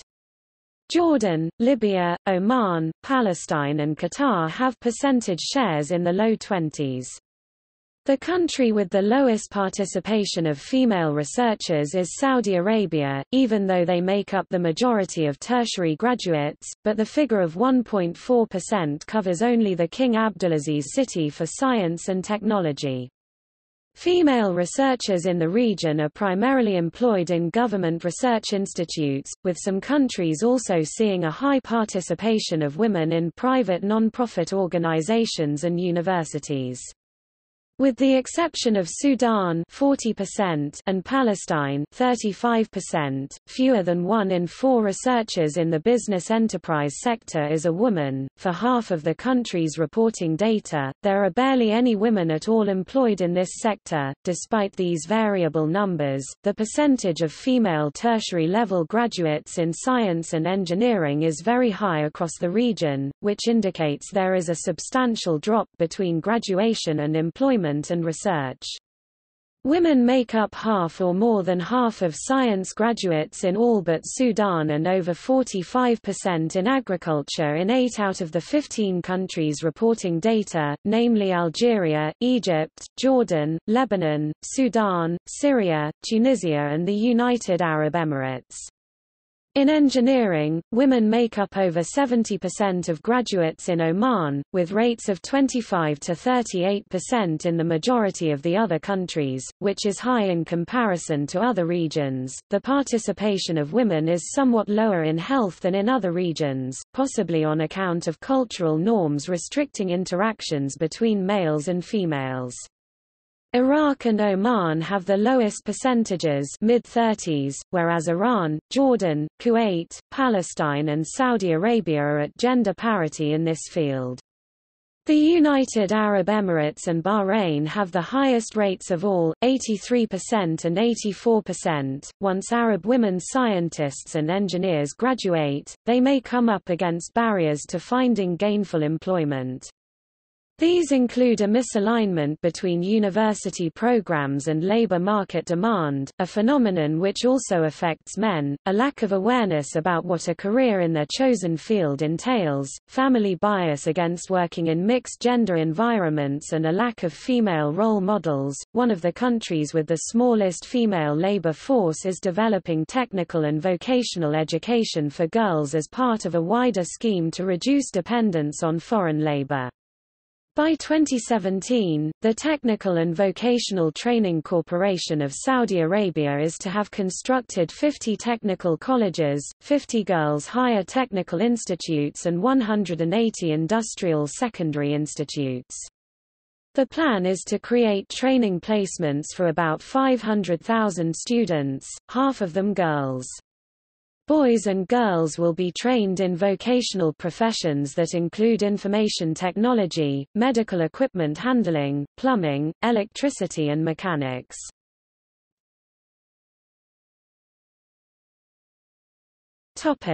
Sub-Saharan Africa Just under 1 in 3 30% researchers in sub-Saharan Africa is a woman.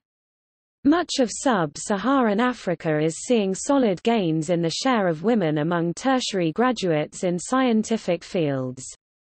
In two of the top four countries for women's representation in science, women graduates are part of very small cohorts, however, they make up 54% of Lesotho's 47 tertiary graduates in science and 60% of those in Namibia's graduating class of 149.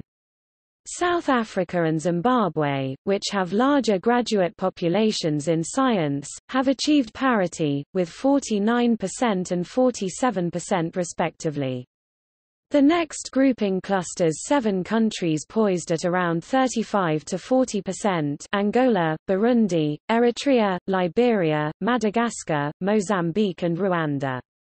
The rest are grouped around 30% or below Benin, Ethiopia, Ghana, Swaziland and Uganda. Burkina Faso ranks lowest, with women making up 18% of its science graduates. Female representation in engineering is fairly high in sub-Saharan Africa in comparison with other regions.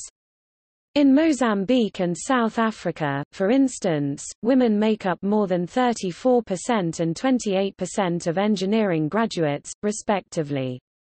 Numbers of female graduates in agricultural science have been increasing steadily across the continent, with eight countries reporting the share of women graduates of 40% or more Lesotho, Madagascar, Mozambique, Namibia, Sierra Leone, South Africa, Swaziland and Zimbabwe. In health, this rate ranges from 26% and 27% in Benin and Eritrea to 94% in Namibia. Of note is that women account for a relatively high proportion of researchers employed in the business enterprise sector in South Africa, 35%, Kenya, 34%, Botswana and Namibia, 33%, and Zambia, 31%. Female participation in industrial research is lower in Uganda 21%, Ethiopia 15%, and Mali 12%.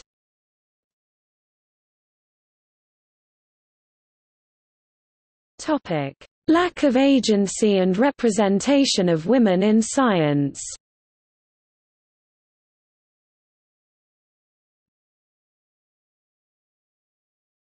Topic: Social pressures that repress femininity Beginning in the late 20th century to present day, more and more women are becoming involved in science. However, women often find themselves at odds with expectations held towards them in relation to their scientific studies. For example, in 1968 James Watson questioned scientist Rosalind Franklin's place in the industry. He claimed that, "...the best place for a feminist was in another person's lab." Most often a male's research lab. Women were and still are often critiqued of their overall presentation. In Franklin's situation, she was seen as lacking femininity for she failed to wear lipstick or revealing clothing. Women believed that in order to gain recognition, they needed to hide their feminine qualities, to thus appear more masculine. For example, women in the 60s often wore male clothing, which often did not fit for the pants inseam was sized for a man and not a woman's leg. This conformity had little benefit besides men demoralizing them for lack of femininity. Since most of their colleagues in science are men, women also find themselves left out of opportunities to discuss possible research opportunities outside of the laboratory. In Londa Schiebinger's book, Has Feminism Changed Science?, she mentions that men would have discussed their research outside of the lab, but this conversation is preceded by talk of sports or other masculine topics that excluded women from the conversation. Consequently, this act of excluding women from the after-hours work discussions produced a more separate work environment between the men and the women in science, as women then would converse with other women in science about their current findings and theories. Ultimately, the women's work was devalued as a male scientist was not involved in the overall research and analysis. According to Oxford University Press, the inequality toward women is endorsed within cultures and entrenched within institutions that hold power to reproduce that inequality. There are various gendered barriers in social networks that prevent women from working in male-dominated fields and top management jobs. Social networks are based on the cultural beliefs such as schemas and stereotypes. According to social psychology studies, top management jobs are more likely to have incumbent schemas that favor an achievement-oriented aggressiveness and emotional toughness that is distinctly male in character. Gender stereotypes of feminine style set by men assume women to be conforming and submissive to male culture creating a sense of unqualified women for top management jobs. However, when the women try to prove their competence and power, they often faced obstacles.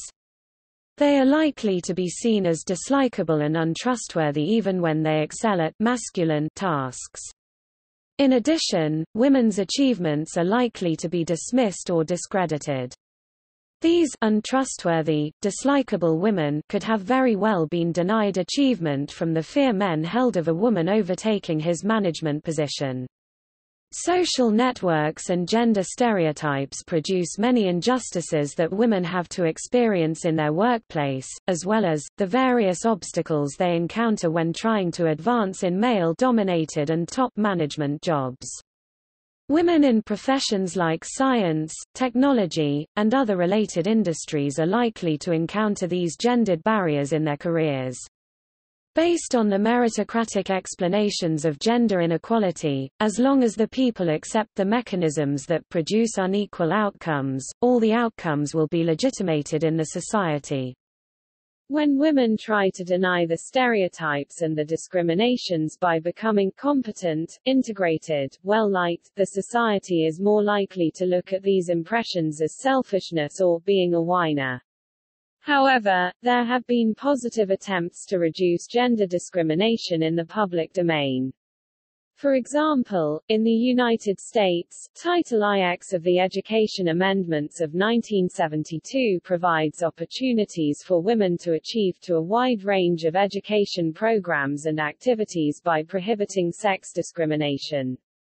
The law states, no person in the United States shall, on the basis of sex, be excluded from participation in, be denied the benefits of, or be subject to discrimination under any educational program or activity receiving federal financial assistance. Although, even with laws prohibiting gender discrimination, society and social institutions continue to minimize women's competencies and accomplishments, especially, in the workforce by dismissing or discrediting their achievements as stated above.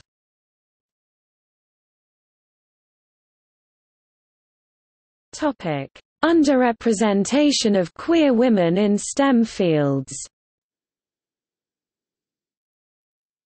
Cisgender heterosexual women are underrepresented in STEM fields and there has been a push to encourage more women to join the sciences. Due to the lack of data and statistics of LGBTQ members' involvement in the STEM field, it illustrates that lesbian, bisexual, and transgender women are even more repressed and underrepresented than their straight female peers. Reasons for underrepresentation of queer women in STEM fields include lack of role models in K-12, the desire of some transgender girls and women to adopt traditional heteronormative gender roles, employment discrimination, and the possibility of sexual harassment in the workplace. Historically, women who have accepted STEM research positions for the government or the military remained in the closet due to lack of federal protections or the fact that LGBT expression was criminalized in the country. A notable example is Sally Ride, a physicist, the first American female astronaut, and a lesbian. Sally Ride chose not to reveal her sexuality until after her death in 2012. She purposefully revealed her sexual orientation in her obituary. She has been known as the first female and youngest American to enter space, as well as starting her own company, Sally Ride Science, that encourages young girls to enter the STEM field. She chose to keep her sexuality to herself because she was familiar with the male-dominated NASA's anti-homosexual policies at the time of her space travel.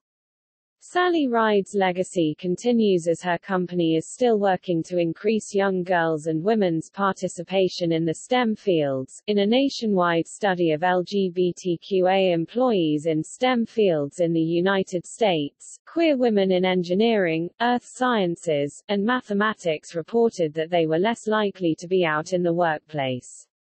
In general, LGBTQA people in this survey reported that, when more female-identified people worked in their labs, the more accepting and safe the work environment. In another study of over 30,000 LGBT employees in STEM-related federal agencies in the United States, queer women in these agencies reported feeling isolated in the workplace and having to work harder than the cisgender male colleagues. This isolation and overachievement remained constant as they earned supervisory positions and worked their way up the ladder. Queer women in physics, particularly trans women in physics programs and labs, felt the most isolated and perceived the most hostility. Organizations such as Lesbians Who Tech, National Organization of Gay and Lesbian Scientists and Technical Professionals, NOGLSTP, Out in Science, Technology, Engineering and Mathematics, OSTEM, Pride in STEM, and House of STEM currently provide networking and mentoring opportunities for queer girls and women interested in or currently working in STEM fields. These organizations also advocate for the rights of queer women in STEM in education and the workplace.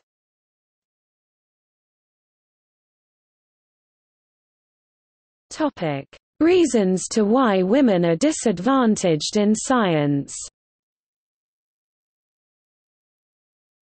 Margaret Rossiter, an American historian of science, offered three concepts to explain the reasons behind the data in statistics and how these reasons disadvantaged women in the science industry.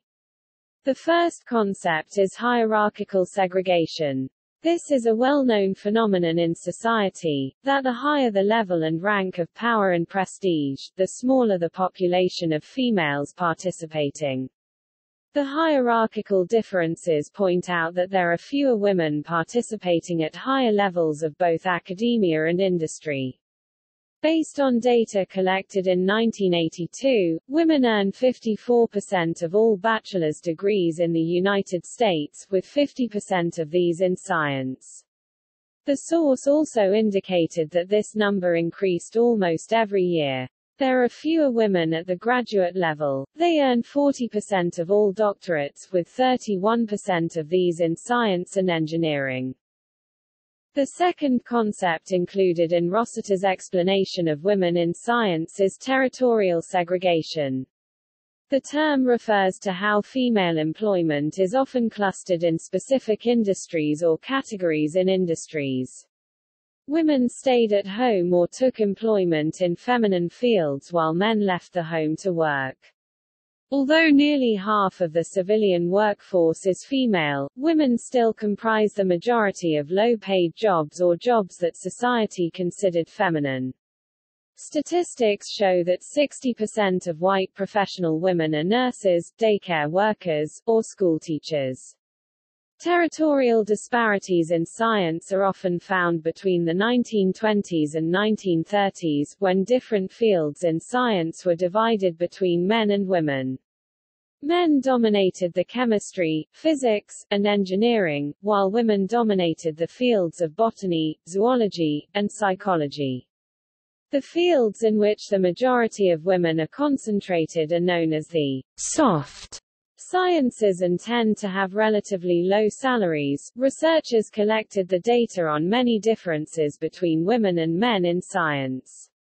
Rossiter found that in 1966, 38% of female scientists held master's degrees compared to 26% of male scientists, but large proportions of female scientists were in environmental and non-profit organizations. During the late 1960s and 1970s, equal rights legislation made the number of female scientists rise dramatically. The statistics from National Science Board NSB present the change at that time. The number of science degrees awarded to women rose from 7% in 1970 to 24% in 1985. In 1975 only 385 women received bachelor's degrees in engineering compared to 11,000 women in 1985, indicating the importance of legislation to the representation of women in science.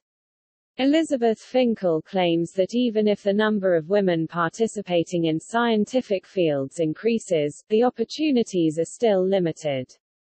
Jabos, who worked for NSB, reported the pattern of women in receiving doctoral degrees in science. Even though the numbers of female scientists with higher level degrees increased, they still were consistently in a minority.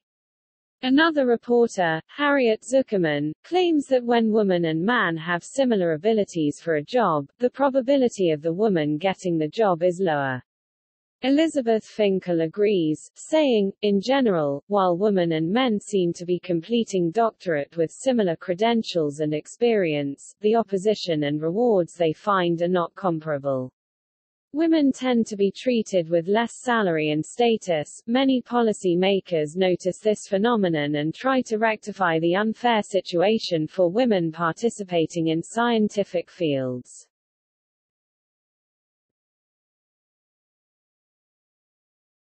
Topic: Contemporary advocacy and developments of women in science. Topic efforts to increase participation A number of organizations have been set up to combat the stereotyping that may encourage girls away from careers in these areas. In the UK the WISE campaign, Women into Science, Engineering and Construction, and the UKRC, the UK Resource Centre for Women in SET, are collaborating to ensure industry, academia and education are all aware of the importance of challenging the traditional approaches to careers advice and recruitment that mean some of the best brains in the country are lost to science. The UKRC and other women's networks provide female role models, resources and support for activities that promote science to girls and women.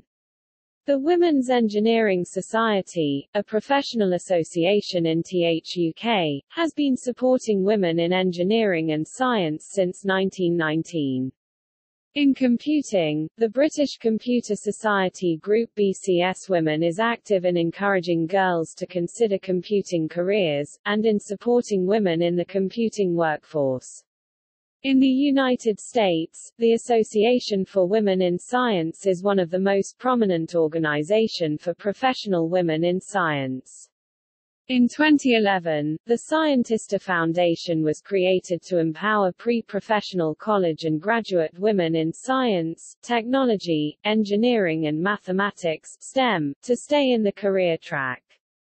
There are also several organizations focused on increasing mentorship from a younger age.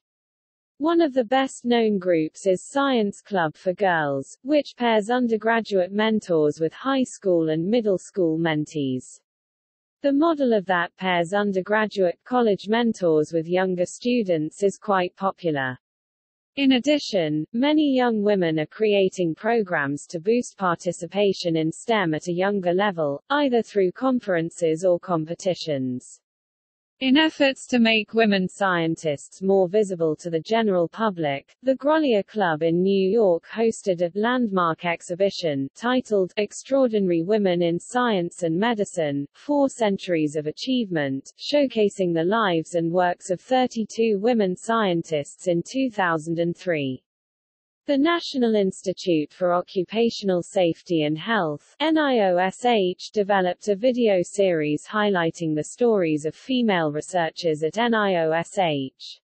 Each of the women featured in the videos share their journey into science, technology, engineering, or math STEM, and offers encouragement to aspiring scientists. NIOSH also partners with external organizations in efforts to introduce individuals to scientific disciplines and funds several science-based training programs across the country.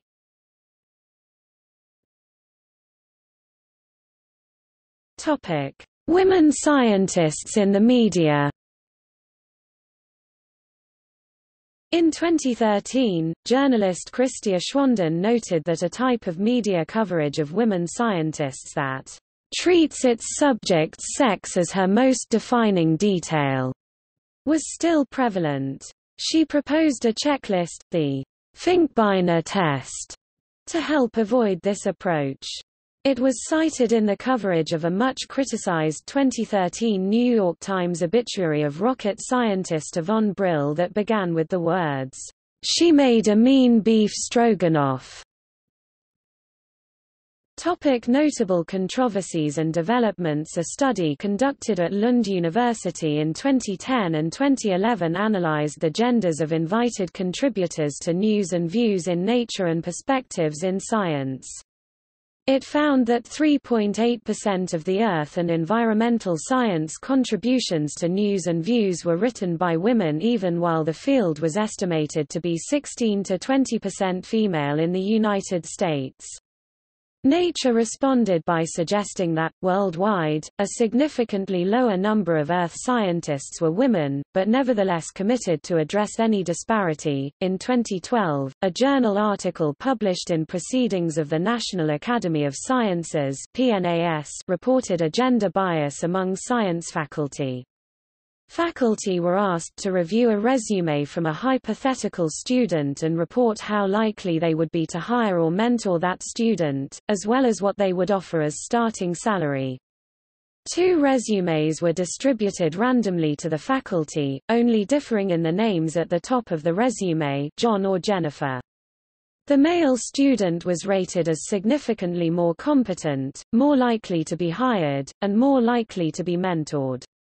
The median starting salary offered to the male student was greater than $3,000 over the starting salary offered to the female student. Both male and female faculty exhibited this gender bias. This study suggests bias may partly explain the persistent deficit in the number of women at the highest levels of scientific fields.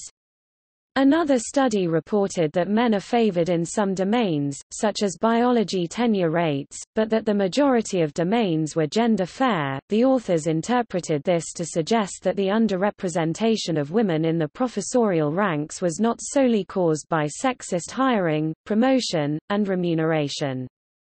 In April 2015 Williams and Ceci published a set of five national experiments showing that hypothetical female applicants were favored by faculty for assistant professorships over identically qualified men by a ratio of 2 to 1. In 2014, a controversy over the depiction of pin-up women on Rosetta Project scientist Matt Taylor's shirt during a press conference raised questions of sexism within the European Space Agency. The shirt, which featured cartoon women with firearms, led to an outpouring of criticism and an apology after which Taylor broke down in tears. In 2015, stereotypes about women in science were directed at Fiona Ingleby, research fellow in evolution, behavior, and environment at the University of Sussex, and Megan Head, postdoctoral researcher at the Australian National University, when they submitted a paper analysing the progression of PhD PhD graduates to postdoctoral positions in the life sciences to the journal PLOS One. The authors received an email on March 27 informing them that their paper had been rejected due to its poor quality. The email included comments from an anonymous reviewer, which included the suggestion that male authors be added in order to improve the quality of the science and serve as a means of ensuring that incorrect interpretations of the data are not included. Ingleby posted excerpts from the email on Twitter on April 29 bringing the incident to the attention of the public and media. The editor was dismissed from the journal and the reviewer was removed from the list of potential reviewers. A spokesman from PLOS apologized to the authors and said they would be given the opportunity to have the paper reviewed again. On June 9, 2015, Nobel Prize winning biochemist Tim Hunt spoke at the World Conference of Science Journalists in Seoul. Prior to applauding the work of women scientists, he described emotional tension, saying, you fall in love with them, they fall in love with you, and when you criticize them they cry. Initially, his remarks were widely condemned and he was forced to resign from his position at University College London. However, multiple conference attendees gave accounts, including a partial transcript and a partial recording, maintaining that his comments were understood to be satirical before being taken out of context by the media. In 2016, an article published in JAMA Dermatology reported a significant and dramatic downward trend in the number of NIH-funded woman investigators in the field of dermatology and that the gender gap between male and female NIH NIH-funded dermatology investigators was widening. The article concluded that this disparity was likely due to a lack of institutional support for women investigators. Topic problematic public statements In January 2005, Harvard University President Lawrence Summers sparked controversy at a National Bureau of Economic Research NBER, conference on diversifying the science and engineering workforce. Dr. Summers offered his explanation for the shortage of women in senior posts in science and engineering.